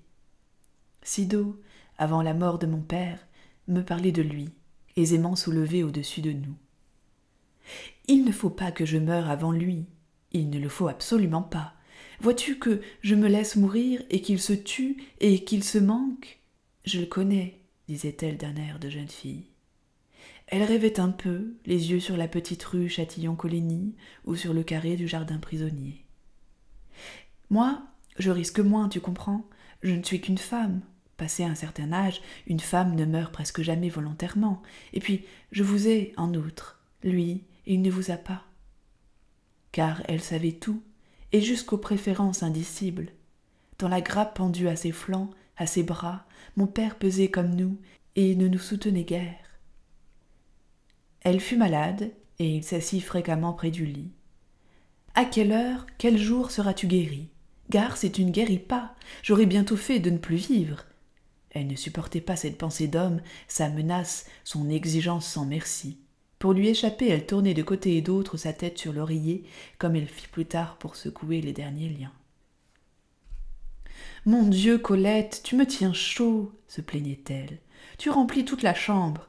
Un homme est toujours déplacé au chevet d'une femme. Va dehors, va voir s'il y a des oranges pour moi chez l'épicier, va demander à monsieur Rosimond de me prêter la revue des deux mondes. Mais marche doucement, le temps est orageux, tu reviendrais en moiteur. Il obéissait, les selles remontaient sur sa béquille.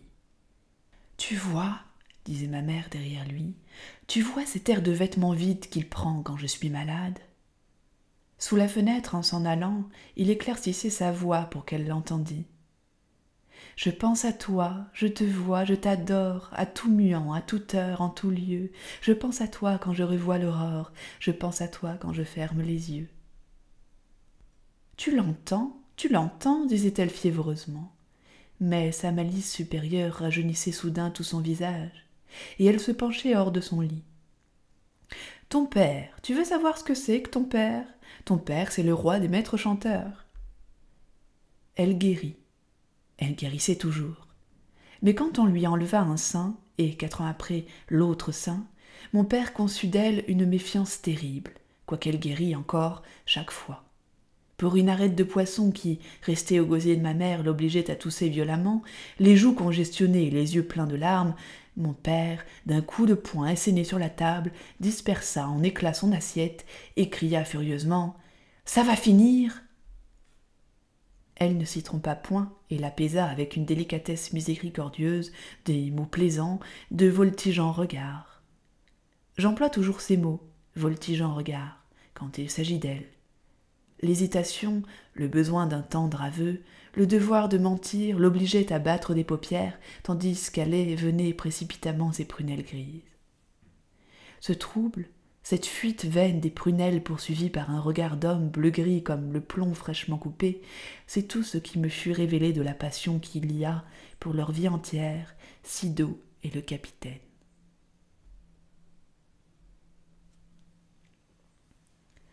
Il y a dix ans, je sonnais, amené par un ami à la porte de Madame B, qui a professionnellement commerce avec les esprits.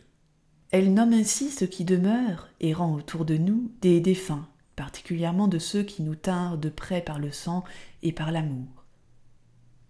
N'attendez pas que je professe une foi quelconque, ni même que je fréquente de passion les privilégiés qui lisent couramment l'invisible.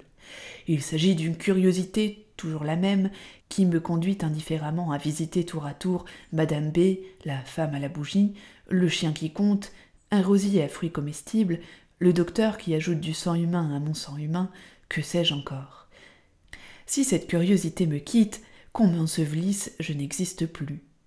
Une de mes dernières indiscrétions s'adressa au grand hyménoptère d'acier bleu qui abonde en Provence pendant la floraison des soleils en juillet-août. Tourmenté d'ignorer le nom de ce guerrier bardé, je m'interrogeai. A-t-il ou non un dard?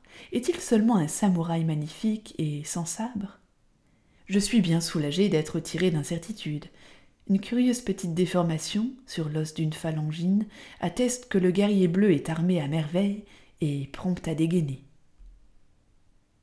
Chez Madame B, j'eus l'agréable nouveauté d'un appartement moderne, traversé de soleil. Sur la fenêtre chantaient des oiseaux en cage. Dans la pièce voisine, des enfants riaient. Une aimable et ronde femme à cheveux blancs m'affirma qu'elle n'avait besoin ni de clair-obscur, ni d'aucun maléfique décor. Elle ne réclama qu'un instant de méditation, et ma main serrée dans les siennes. Vous voulez me poser des questions? me demanda-t-elle. Je m'avisai alors que j'étais sans avidité, sans passion pour un au-delà quelconque, sans souhaits immodérés, et je ne trouvai rien à dire sinon le mot le plus banal alors, vous voyez les morts? Comment sont-ils? Comme les vivants, répondit Madame B, avec rondeur. Ainsi, derrière vous Derrière moi, c'était la fenêtre ensoleillée et la cage des serins verts. Derrière vous est assis l'esprit d'un homme âgé. Il porte une barbe non taillée, étalée, presque blanche, les cheveux assez longs, gris, rejetés en arrière, des sourcils Oh, par exemple, des sourcils tout broussailleux, et là-dessous des yeux. Oh, mais des yeux petits, mais d'un éclat qui n'est pas soutenable. Voyez-vous qui ça peut être? Oui, très bien. En tout cas, c'est un esprit bien placé. Bien placé dans le monde des esprits, il s'occupe beaucoup de vous. Vous ne le croyez pas? Euh, J'en doute un peu. Si, il s'occupe beaucoup de vous à présent. Pourquoi à présent? Parce que vous représentez ce qu'il aurait tant voulu être sur la terre. Vous êtes justement ce qu'il a souhaité d'être. Lui, il n'a pas pu. Je ne mentionnerai pas ici les autres portraits que me fit madame B. Ils valaient tous, à mes yeux, par quelques détails dont la vigueur et le secret m'enchantèrent comme une sorcellerie anodine et inexplicable. D'un esprit où je fus bien obligée de reconnaître trait pour trait mon demi-frère, l'aîné, elle dit, apitoyée. Je n'ai jamais vu un mort aussi triste. Mais, lui dis-je, vaguement jalouse, ne voyez-vous pas une femme âgée qui pourrait être ma mère? Le bon regard de madame B errait autour de moi. Non, ma foi, répondit-elle enfin. Elle ajouta, vive et comme pour me consoler.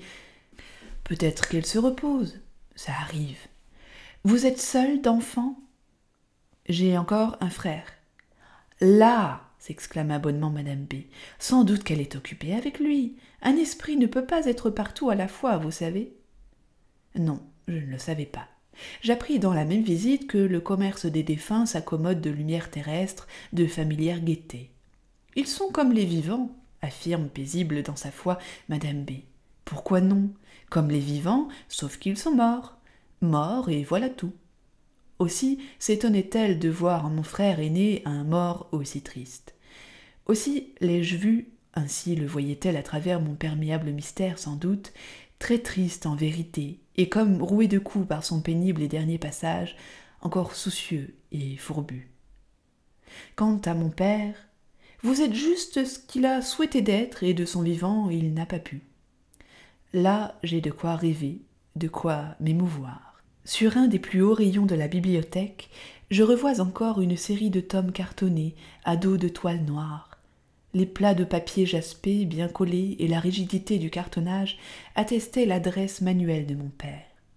Mais les titres, manuscrits, en lettres gothiques, ne me tentaient point, d'autant que les étiquettes à filets noirs ne révélaient aucun auteur.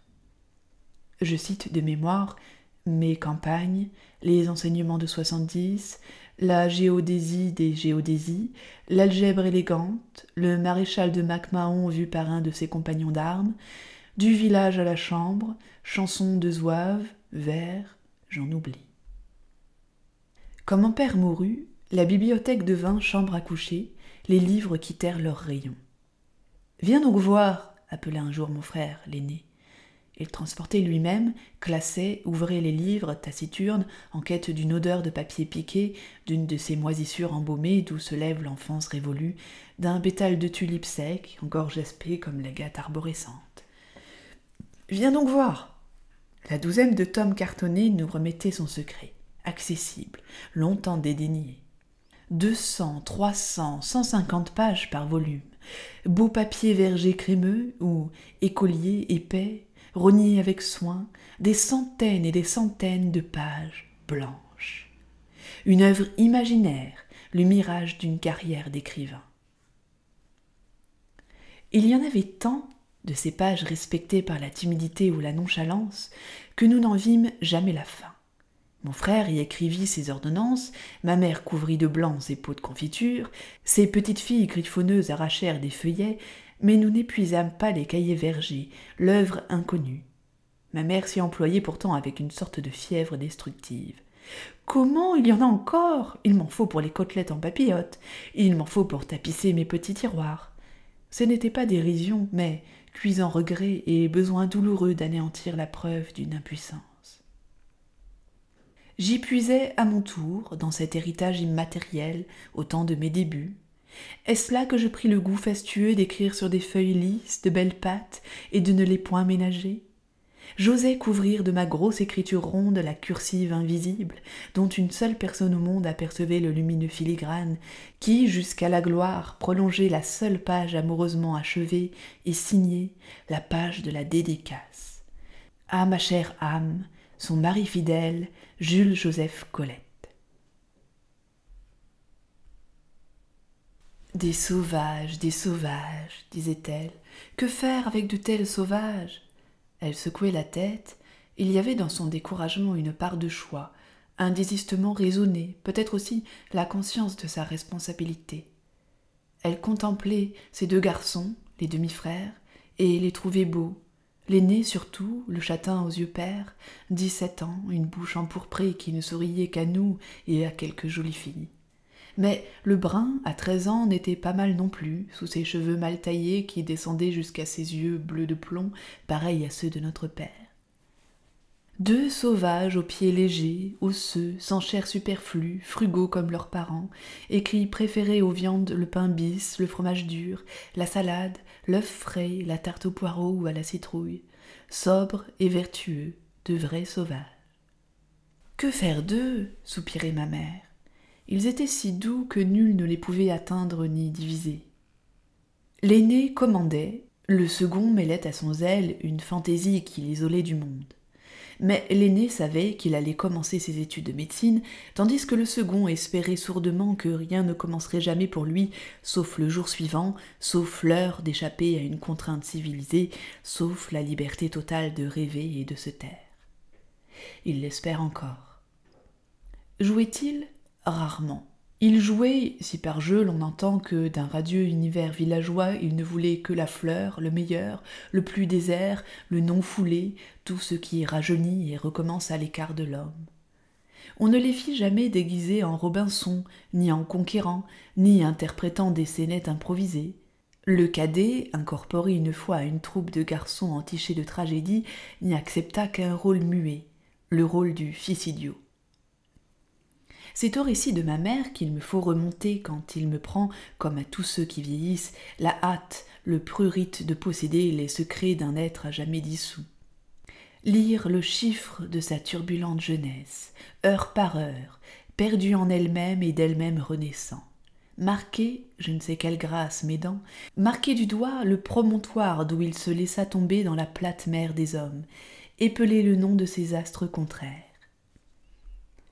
J'ai dit adieu aux morts, à l'aîné sans rivaux, mais je recours au récit maternel et aux souvenirs de ma petite enfance si je veux savoir comment se forma le sexagénaire à moustache grise qui se glisse chez moi, la nuit tombée, ouvre ma montre et regarde palpiter l'aiguille trotteuse, prélève sur une enveloppe froissée un timbre-poste étranger, aspire, comme si le souffle lui avait tout le jour manqué, une longue bouffée de musique du Columbia, et disparaît sans avoir dit un mot.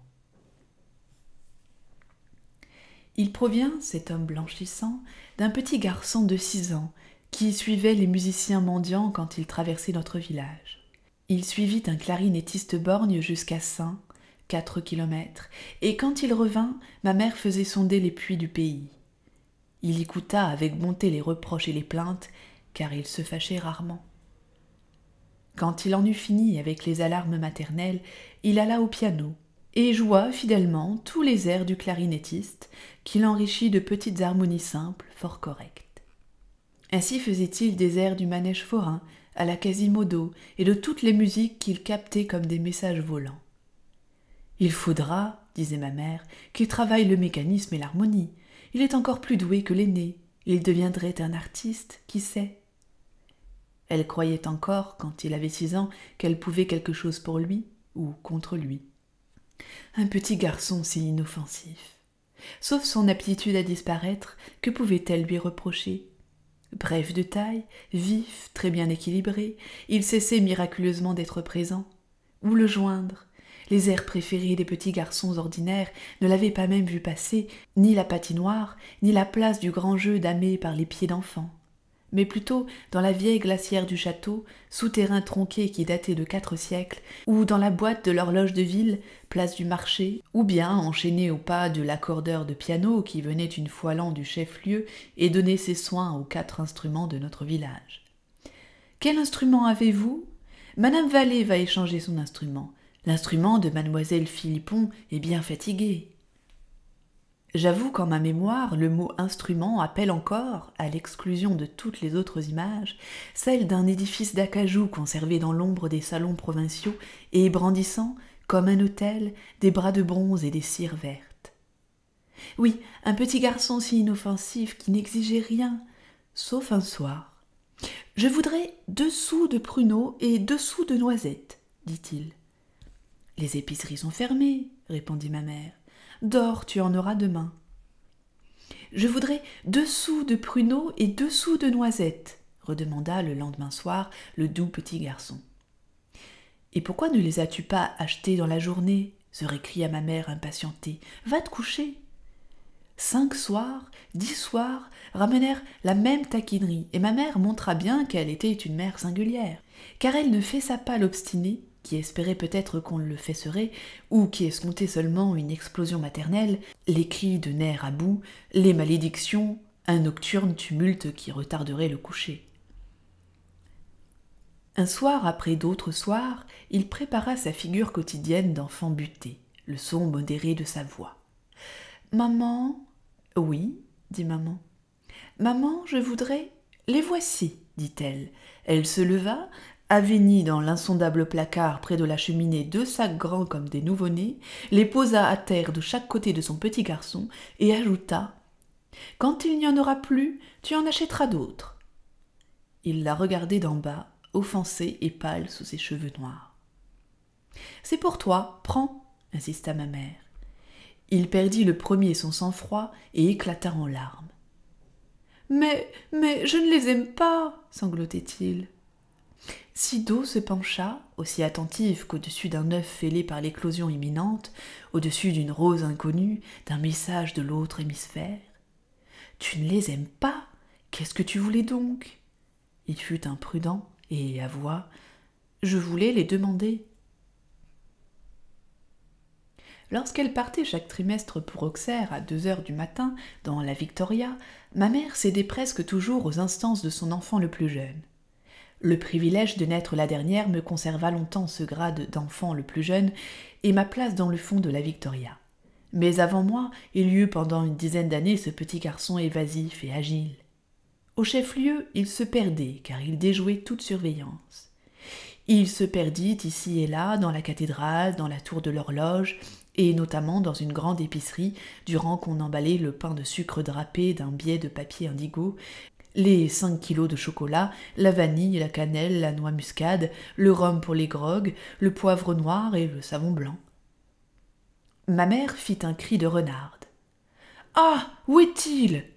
Qui, madame Colette? Mon petit garçon. L'a-t-on vu sortir? Personne ne l'avait vu sortir, et déjà ma mère, à défaut de puits, interrogeait les cuves d'huile et les tonneaux de saumure. On ne le chercha pas trop longtemps cette fois. Il était au plafond, tout en haut d'un des piliers de fonte tors, qu'il étreignait des cuisses et des pieds comme un grimpeur des cocotiers. Il manœuvrait et écoutait les rouages d'un gros cartel à face plate de chat-huant vissé sur la maîtresse poutre. Quand des parents ordinaires font souche d'enfants exceptionnels, il y a de grandes chances que les parents éblouis les poussent, fût-ce à grands coups de pied dans le derrière, vers des destinées qu'ils nomment meilleures. Ma mère, qui tenait pour naturel, voire obligatoire, d'enfanter des miracles, professait aussi que l'on tombe toujours du côté où l'on penche, et affirmait, pour se rassurer elle-même, Achille sera médecin, mais Léo ne pourra pas échapper à la musique. Quant à la petite, elle levait les sourcils, interrogeait le nuage et me remettait à plus tard. Exception bizarre, il n'était jamais question de l'avenir de ma sœur aînée, déjà majeure, mais étrangère à nous, étrangère à tous, volontairement isolée au sein de sa propre famille. Juliette est une autre espèce de sauvage, soupirait ma mère. Mais à celle-là, personne ne comprend rien, même moi. Elle se trompa, nous la trompâmes plus d'une fois. Elle ne se décourageait pas et nous coiffait d'une nouvelle auréole. Mais elle n'accepta jamais que son second fils échappât, comme elle disait, à la musique, car je lis dans maintes lettres qui datent de la fin de sa vie Sais-tu si Léo a un peu de temps pour travailler son piano? Il ne doit pas négliger un don qui est extraordinaire. Je ne me lasserai pas d'insister là-dessus. À l'époque où ma mère m'écrivait ces lettres, mon frère était âgé de quarante-quatre ans. Il a, quoiqu'elle en eût, échappé à la musique, puis aux études de pharmacie, puis successivement à tout, à tout ce qui n'est pas son passé de sylphe. À mes yeux, il n'a pas changé, c'est un sylphe de 63 ans. Comme un sylphe, il n'est attaché qu'au lieu natal, à quelques champignons tutélaires, à une feuille recroquevillée en manière de toit. On sait que les sylphes vivent de peu et méprisent les grossiers vêtements des hommes.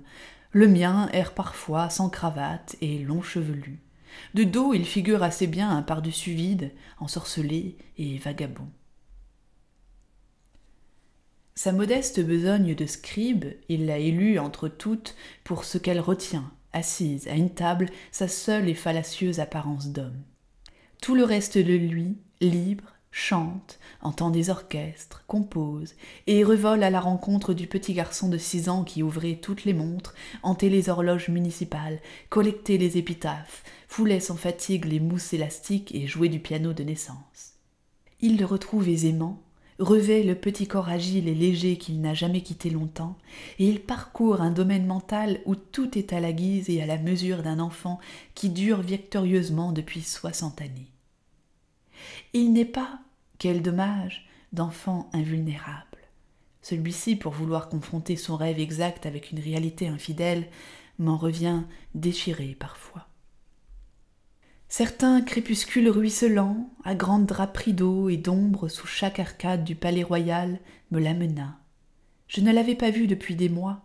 Il s'assit, mouillé, à mon feu, prit distraitement sa singulière subsistance, des bonbons fondants, des gâteaux très sucrés, du sirop, ouvrit ma montre, puis mon réveil, les écouta longuement et ne dit rien. Je ne regardais qu'à la dérober dans sa longue figure sa moustache quasi blanche, l'œil bleu de mon père, le nez grossi de sido, traits survivants, assemblés par des plans d'os, des muscles inconnus et sans origine lisible. Une longue figure douce éclairée par le feu, douce et désemparée. Mais les us et coutumes de l'enfance, réserve, discrétion, liberté, sont encore si vigoureux entre nous que je ne posai à mon frère aucune question. Quand il eut assez séché les ailes tristes alourdies de pluie qu'il appelle son manteau, il fuma, l'œil cligné, et frotta ses mains sèches, rouges d'ignorer en toute saison l'eau chaude et et parla. Dis donc, oui, j'ai été là-bas, tu sais. Non? Quand ça? J'en arrive. Ah, dis-je avec admiration. Tu es allé à Saint-Sauveur? Comment? Il me fit un petit œil fat. C'est Charles Farou qui m'a amené en auto. Mon vieux, c'est joli en cette saison? Pas mal, dit-il brièvement. Il enfla les narines, redevint sombre et se tut. Je me remis à écrire. Dis donc, oui, là-bas, j'ai été aux roches, tu sais. Un chemin montueux de sable jaune se dressa dans ma mémoire comme un serpent le long d'une vitre. Oh, comment est-ce? Et le bois en haut? Et le petit pavillon? Les digitales, les bruyères? Mon frère siffla. Fini, coupé, plus rien, rasé. On voit la terre, on voit. Il faucha l'air du tranchant de la main et rit des épaules en regardant le feu. Je respectais ce rire et ne l'imitais pas. Mais le vieux sylphe, frémissant et lésé, ne pouvait plus se taire. Il profita du clair-obscur, du feu rougeoyant. Ce n'est pas tout, chuchotait-il. Je suis allé aussi à la cour du pâté. Non naïf d'une chaude terrasse au flanc du château ruiné, arceaux de rosiers maigris par l'âge, ombre, odeur de lierre fleurie versée par la tour sarrasine, battant revêche et rougeâtre de la grille qui ferme la cour du pâté, accourait. Et alors, vieux, et alors? Mon frère se ramassa sur lui-même. Une minute, commanda-t-il. Commençons par le commencement. J'arrive au château, il est toujours asile de vieillard, puisque Victor Gandry l'a voulu. Bon, je n'ai rien à objecter. J'entre dans le parc, par l'entrée du bas, celle qui est près de Madame Billette. Comment, Madame Billette? Mais elle doit être morte depuis quarante ans, au moins. Peut-être, dit mon frère avec insouciance. Oui, c'est donc ça qu'on m'a dit, euh, un autre nom, un nom impossible. C'est crois que je vais retenir des noms que je connais pas. Enfin, j'entre par l'entrée du bas, je monte l'allée des tilleuls, Tiens, les chiens n'ont pas aboyé quand j'ai poussé la porte, fit-il avec irritation. Écoute, vieux, ça ne pourrait pas être les mêmes chiens, songe donc. Bon, bon, détail sans importance. Je te passe sous silence les pommes de terre qu'ils ont plantées à la place des cœurs et des pavots. Je passe même, poursuivit-il d'une voix intolérante, sur les fils de fer des pelouses. Un quadrillage de fils de fer, on se demande ce qu'on voit. Il paraît que c'est pour les vaches. Les vaches. Il berça un de ses genoux entre ses deux mains nouées et sifflota d'un air artiste qui lui allait comme un chapeau de forme. C'est tout, vieux? Minute, répéta-t-il férocement. Je monte donc vers le canal. Si j'ose, dit-il avec une recherche incisive, appeler canal cette mare infecte, cette soupe de moustiques et de bouse, passons. Je m'en vais donc à la cour du pâté et. et. Il tourna vers moi sans me voir un sourire vindicatif. J'avoue que je n'ai d'abord pas aimé particulièrement qu'il fasse de la première cour, devant la grille, derrière les écuries aux chevaux, une espèce de préau à sécher la lessive. Oui, j'avoue, mais je n'y ai pas trop fait attention parce que j'attendais le moment de la grille. Quel moment de la grille? Il claqua des doigts, impatienté. Mais voyons, tu vois, le loquet de la grille Comme si j'allais le saisir, de fer noir poli et fendu, je le vis, en effet. Bon, depuis toujours, quand on le tourne comme ça, il m'y met, et qu'on laisse aller la grille, alors elle s'ouvre par son propre poids, et en tournant, elle dit chantâmes-nous d'une seule voix sur quatre notes. Oui, dit mon frère en faisant danser fébrilement son genou gauche. J'ai tourné, j'ai laissé aller la grille, j'ai écouté. Tu sais ce qu'ils ont fait? Non, ils ont huilé la grille, dit-il froidement. Il partit presque aussitôt. Il n'avait pas autre chose à me dire. Il recroisa les membranes humides de son grand vêtement et s'en alla, dépossédé de quatre notes, son oreille musicienne tendue en vain désormais vers la plus délicate offrande, composée par un huit ancien, un grain de sable, une trace de rouille, et dédiée au seul enfant sauvage qui en fut digne. Où en es-tu avec Mérimée Il me doit dix sous. Tiens, s'étonnait l'aîné. Oui, repartait le cadet, mais moi je redois trois francs. Sur qui? Sur un Victor Hugo. Quel volume Chansons des rues et des bois, et je ne sais quoi d'autre. Ah, le chameau Et encore triomphait l'aîné. Tu as dû lire ça à la va-vite Verse les trois francs.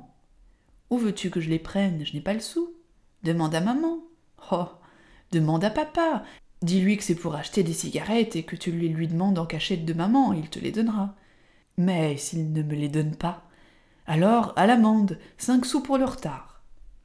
Les deux sauvages, qu'ils lisaient comme autrefois lisaient les adolescents de quatorze et dix-sept ans, c'est-à-dire avec excès, avec égarement, le jour, la nuit, au sommet des arbres, dans les fenils, avaient frappé d'interdit le mot mignonne qu'ils prononçaient mignonne, avec une affreuse grimace tordue suivie d'une imitation de nausée. Recensé dans chaque livre nouveau, chaque mignonne vouée à l'exécration créditait de deux sous une cagnotte. En revanche, un livre vierge rapportait dix sous à son lecteur. Le contrat jouait depuis deux mois, et l'argent, s'il en restait au bout du semestre, paierait des bonbances, des filets à papillons, une nasse à goujons. Mon jeune âge, huit ans, m'écarter de la combinaison. Au dire des deux frères, il y avait trop peu de temps que je ne grattais plus pour les manger, au long des chandelles, les coulures en forme de longues larmes, et les deux garçons m'appelaient encore enfant de Cosaque. Pourtant, je savais dire mignonne en tordant la bouche et m'efforçais ensuite de vomir, et j'apprenais à côté des romanciers selon les nouveaux statuts. Dickens rend beaucoup, disait un sauvage. Dickens ne devrait pas compter rechignait l'autre. C'est une traduction. Le traducteur nous empile. Alors Edgar Poe non plus ne compte pas? Euh, Le bon sens commanderait d'exclure aussi les livres d'histoire qui payent des sous à coup sûr. La Révolution n'est pas mignonne, Charlotte Corday n'est pas mignonne, Mérimée devrait être exclue en tant qu'auteur de la chronique de Charles IX. Alors, qu'est-ce que tu fais du collier de la reine? Il joue, c'est du roman pur. Et les Balzac sur Catherine de Médicis? Tu parles comme un enfant, il joue. Ah non, mon vieux permet. Mon vieux, je fais appel à ta bonne foi. Tais-toi. On marche dans la rue. Ils ne se disputaient jamais. Allongés sur le fait du mur, ils y cuisaient au soleil d'après-midi, discutaient avec feu et sans injure, et me concédaient une portion de la dalle fêtière doucement inclinée. De là, nous dominions la rue des Vignes, venelle déserte qui menait au jardin potager éparpillé dans le vallon du Saint-Jean. Mes frères se taisaient subtilement au plus lointain bruit de pas, épousaient le mur et en s'aplatissant, étendaient le menton au-dessus de l'ennemi originel, leur semblable. Ce n'est rien, c'est Chebrier qui va à son jardin, avertit le cadet. Ils oublièrent un moment leur débat et laissèrent passer sur eux l'heure encore chaude, la lumière oblique. D'autres pas, nets et vifs, sonnèrent sur les silex bossus. Un corsage lilas, un buisson de cheveux crépelés, d'un rose de cuivre éclairèrent le haut de la rue. Ouh, la rousse souffla le cadet. Ouh, la carotte Il n'avait que quatorze ans et voulait du mal aux filles qui l'éblouissaient de lumière trop crue. C'est Flore Chebrier qui rejoint son père, dit mon frère aîné quand l'or et le lilas s'éteignirent en bas de la rue. Elle a joliment changé. Son cadet, couché sur le ventre, posa son menton sur ses bras croisés. Il clignait par mépris et gonflait sa bouche, qu'il avait ronde et renflée comme les petits éoles des vieilles cartes marines. C'est une carotte, c'est une rouge, au feu, au feu cria-t-il avec une grossièreté d'écolier jaloux. L'aîné haussa les épaules. Tu ne t'y connais guère en blonde, dit-il. Moi je la trouve très, mais très mignonne. Un gros rire de garçonnet enroué de mue salua le mot maudit que caressait la voix rêveuse de l'aîné, le séducteur aux yeux pères. J'entendis une bousculade sur le mur, les clous des souliers raclant la pierre, une chute molle de corps liés sur la terre, accueillante et sarclée, au pied des abricotiers. Mais ils se délièrent aussitôt avec une hâte sage. Il ne s'était jamais battu, ni insulté. Je crois qu'il savait déjà que ce bouquet de cheveux roux, ce corsage lilas, merveille accessible, ne devait pas compter parmi leurs enjeux indivis, leur délectation baroque et pudique. D'un pas bien accordé, ils s'en retournèrent vers les étaloirs de liège où séchaient les machaons, vers la construction d'un jet d'eau, vers un système d'alambic à distiller la menthe des marées, instrument capricieux qui enlevait au produit distillé le parfum de la menthe, mais lui laissait intacte l'odeur du marécage. Leur farouche humeur n'était pas toujours innocente. L'âge qu'on dit ingrat, qui étire douloureusement les corps enfantins, exige des holocaustes. Il fallait à mes frères une victime. Ils élurent un camarade de collège que les vacances ramenaient dans le canton voisin. Mathieu M n'avait point de défaut ni de grand mérite. Sociable, bien vêtu, un peu blondasse, sa seule vue échauffait mes frères d'une perversité comparable à celle des femmes enceintes. Aussi s'attachait-il avec passion aux deux sauvages fiers, chaussés de toile, coiffés de joncs et qui méprisaient ses cravates. L'aîné n'avait que rigueur pour ce fils de tabellion, et le cadet, par imitation et renchérissement, effilochait son mouchoir, retroussait son pantalon déjà trop court, pour accueillir Mathieu M, ganté, qui descendait de son tricycle. J'ai apporté la partition des noces de Jeannette, criait de loin l'affectueuse victime, et l'édition allemande des symphonies de Beethoven à quatre mains. Sombre, l'aîné, le barbare au frais visage, toisait l'intrus, banal enfant des hommes que rien n'obscurcissait, qui ne portait en lui ni vœu de solitude, ni intolérance, qui se troublait sous son regard et mendiait. Tu veux faire un peu de quatre mains avec moi Avec toi Non. Sans toi Oui. Je tournerai les pages alors. L'un soumis, l'autre inexplicablement malveillant et chargé de rage, ils souffraient d'incompatibilité. Mais Mathieu M, patient comme une épouse rudoyée, ne se laissait pas de revenir. Un jour, les sauvages prirent le large dès le déjeuner, ne rentrèrent que le soir. Ils semblaient las, excités, et ils se jetèrent tout fumant sur les deux vieux canapés de reps verts. D'où venez-vous dans cet état? demanda notre mère. De loin, répondit avec douceur l'aîné. Mathieu est venu, il a paru surpris de ne pas te trouver. C'est un garçon qui s'étonne d'un rien. Quand ils furent seuls avec moi, mes deux frères parlèrent. Je ne comptais guère, et d'ailleurs ils m'avaient élevé à ne point trahir. Je sus que, cachés dans un bois qui surplombe la route de Saint-Èphe, ils n'avaient pas, au passage de Mathieu, révélé leur présence. Je m'intéressais assez peu à des détails qu'ils ressassaient. Quand j'ai entendu le grelot de son tricycle, commençait le cadet. J'ai entendu de plus loin que toi, va. Pas sûr. Tu te souviens du moment où il s'est arrêté juste sous notre nez pour s'essuyer? Il dialoguait presque bas, couché, les yeux au plafond. L'aîné s'agita. Oui, cet animal, il regardait à gauche et à droite comme s'il nous flairait. Ça, mon vieux, c'est fort, hein C'est curieux. C'est nous qui l'avons arrêté en le regardant, hein Il avait l'air tout gêné, tout, tout chose. Les yeux de l'aîné noircissaient. Ça se peut, il avait sa cravate écossaise. Cette cravate-là, j'ai toujours pensé qu'elle serait cause d'un malheur. Je m'élançai entre eux, avide d'émotion. Et alors, et alors, quel malheur Ils me jetèrent tous deux le plus froid regard. D'où est-ce qu'elle sort, celle-là? Qu'est-ce qu'elle veut avec son malheur? C'est. Mais c'est toi qui viens de dire. Ils se redressèrent, s'assirent, ricanèrent de connivence. Il n'est rien arrivé, dit enfin l'aîné. Qu'est-ce que tu veux qu'il arrive? On a laissé passer Mathieu et on a bien rigolé. C'est tout, fis-je déçu. Le cadet se leva d'un bond, il dansait sur place et ne se possédait plus. Oui, c'est tout, tu ne peux pas comprendre. On était là, couché, on l'avait au ras du menton, lui, sa cravate, sa raie de côté, ses manchettes, son nez qui reluisait. Ah, bon Dieu, c'était épatant. Il se pencha sur son aîné, le frôla du nez amicalement. C'était facile de le tuer, hein? Rigide, les yeux fermés, l'aîné ne répondit pas. Et vous ne l'avez pas tué m'étonnai-je.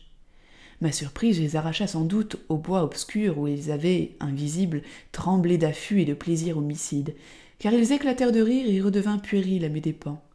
Non, dit l'aîné, nous ne l'avons pas tué. Je ne sais pas pourquoi d'ailleurs. Ragaillardi, il entonna ses improvisations préférées, fille difforme du rythme et du verbe, conçue aux heures où son esprit d'étudiant, rebutant le travail, s'accrochait sans le savoir au relief des mots qu'il détergeait de leur sens. Ma petite voix lui fit écho. Je suis seule maintenant à affirmer sur un air de polka qu'un cachet de benzonaftol, ça fait du bien pour le mal à la tête, un cachet de benzonaftol, ça fait du bien pour la métrite du col. Affirmation aventurée, contraire à toute thérapeutique, à laquelle je préférais, sinon la musique, du moins le texte d'une aubade connue. Le beau analgésique du pharmacien Bengue, Bengue est très distingué quand on se l'applique, on se sent soulagé, lagué, etc. Ce soir-là, mon frère, encore exalté, chanta la nouvelle version de la sérénade de Severo Torelli. Nous n'avons pas tué Mathieu pour ce soir, ma brune. Laissons vivre encore ce rival de la lune. Le cadet autour de lui dansait, radieux comme un Lorenzaccio à son premier crime.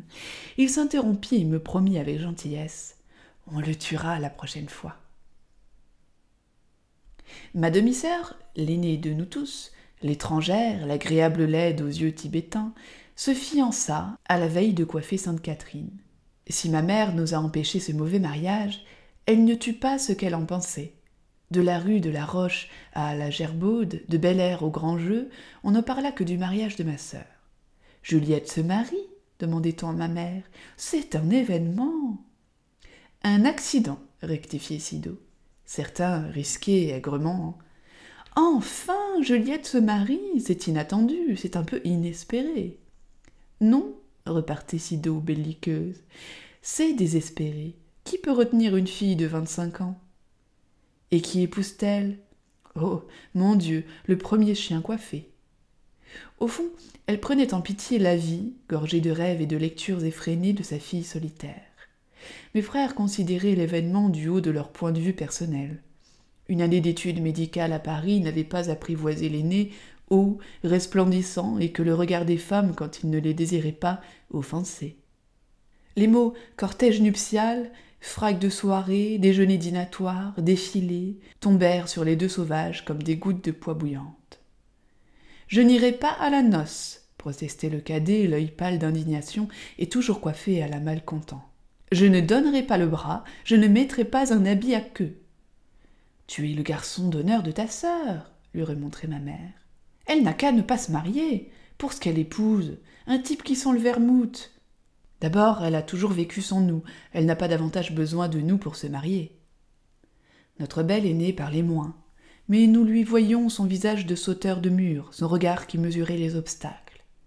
Il y eut des jours difficiles, des récriminations que mon père, soucieux et qui fuyait l'odorant intrus, n'apaisait pas. Puis les deux garçons parurent consentir à tout. Bien mieux, ils suggérèrent l'idée d'organiser eux-mêmes une messe en musique, et de joie, Sido oublia pendant quelques heures son chien coiffé de gendre.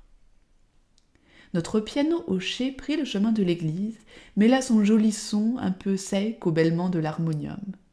Les sauvages répétaient dans l'église vide qu'ils verrouillaient la suite de l'Arlésienne, je ne sais quel stradella, un à dévolu aux festes nuptiaux. Ma mère s'avisa trop tard que ses fils, retenus à leur clavier d'exécutants, ne figureraient qu'un moment aux côtés de leur sœur. Ils jouèrent, je me le rappelle, comme des anges musiciens, et ensoleillèrent de musique la messe villageoise, l'église sans richesse et sans clocher.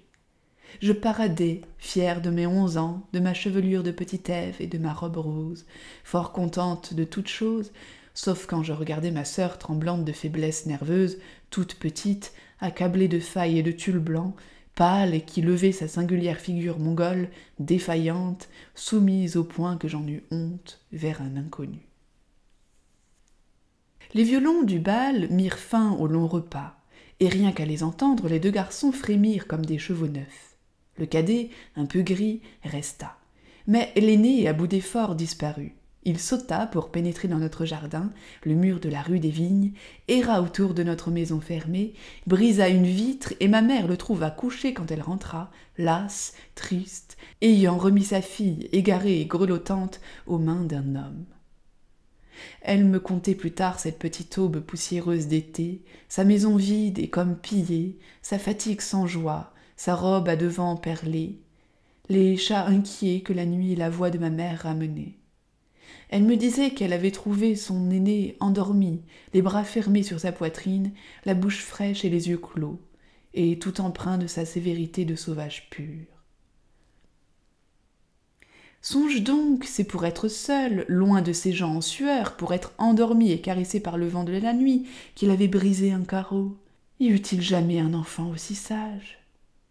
Ce sage, je l'ai vu cent fois franchir la fenêtre, d'un bon réflexe à chaque coup de sonnette qu'il ne prévoyait pas.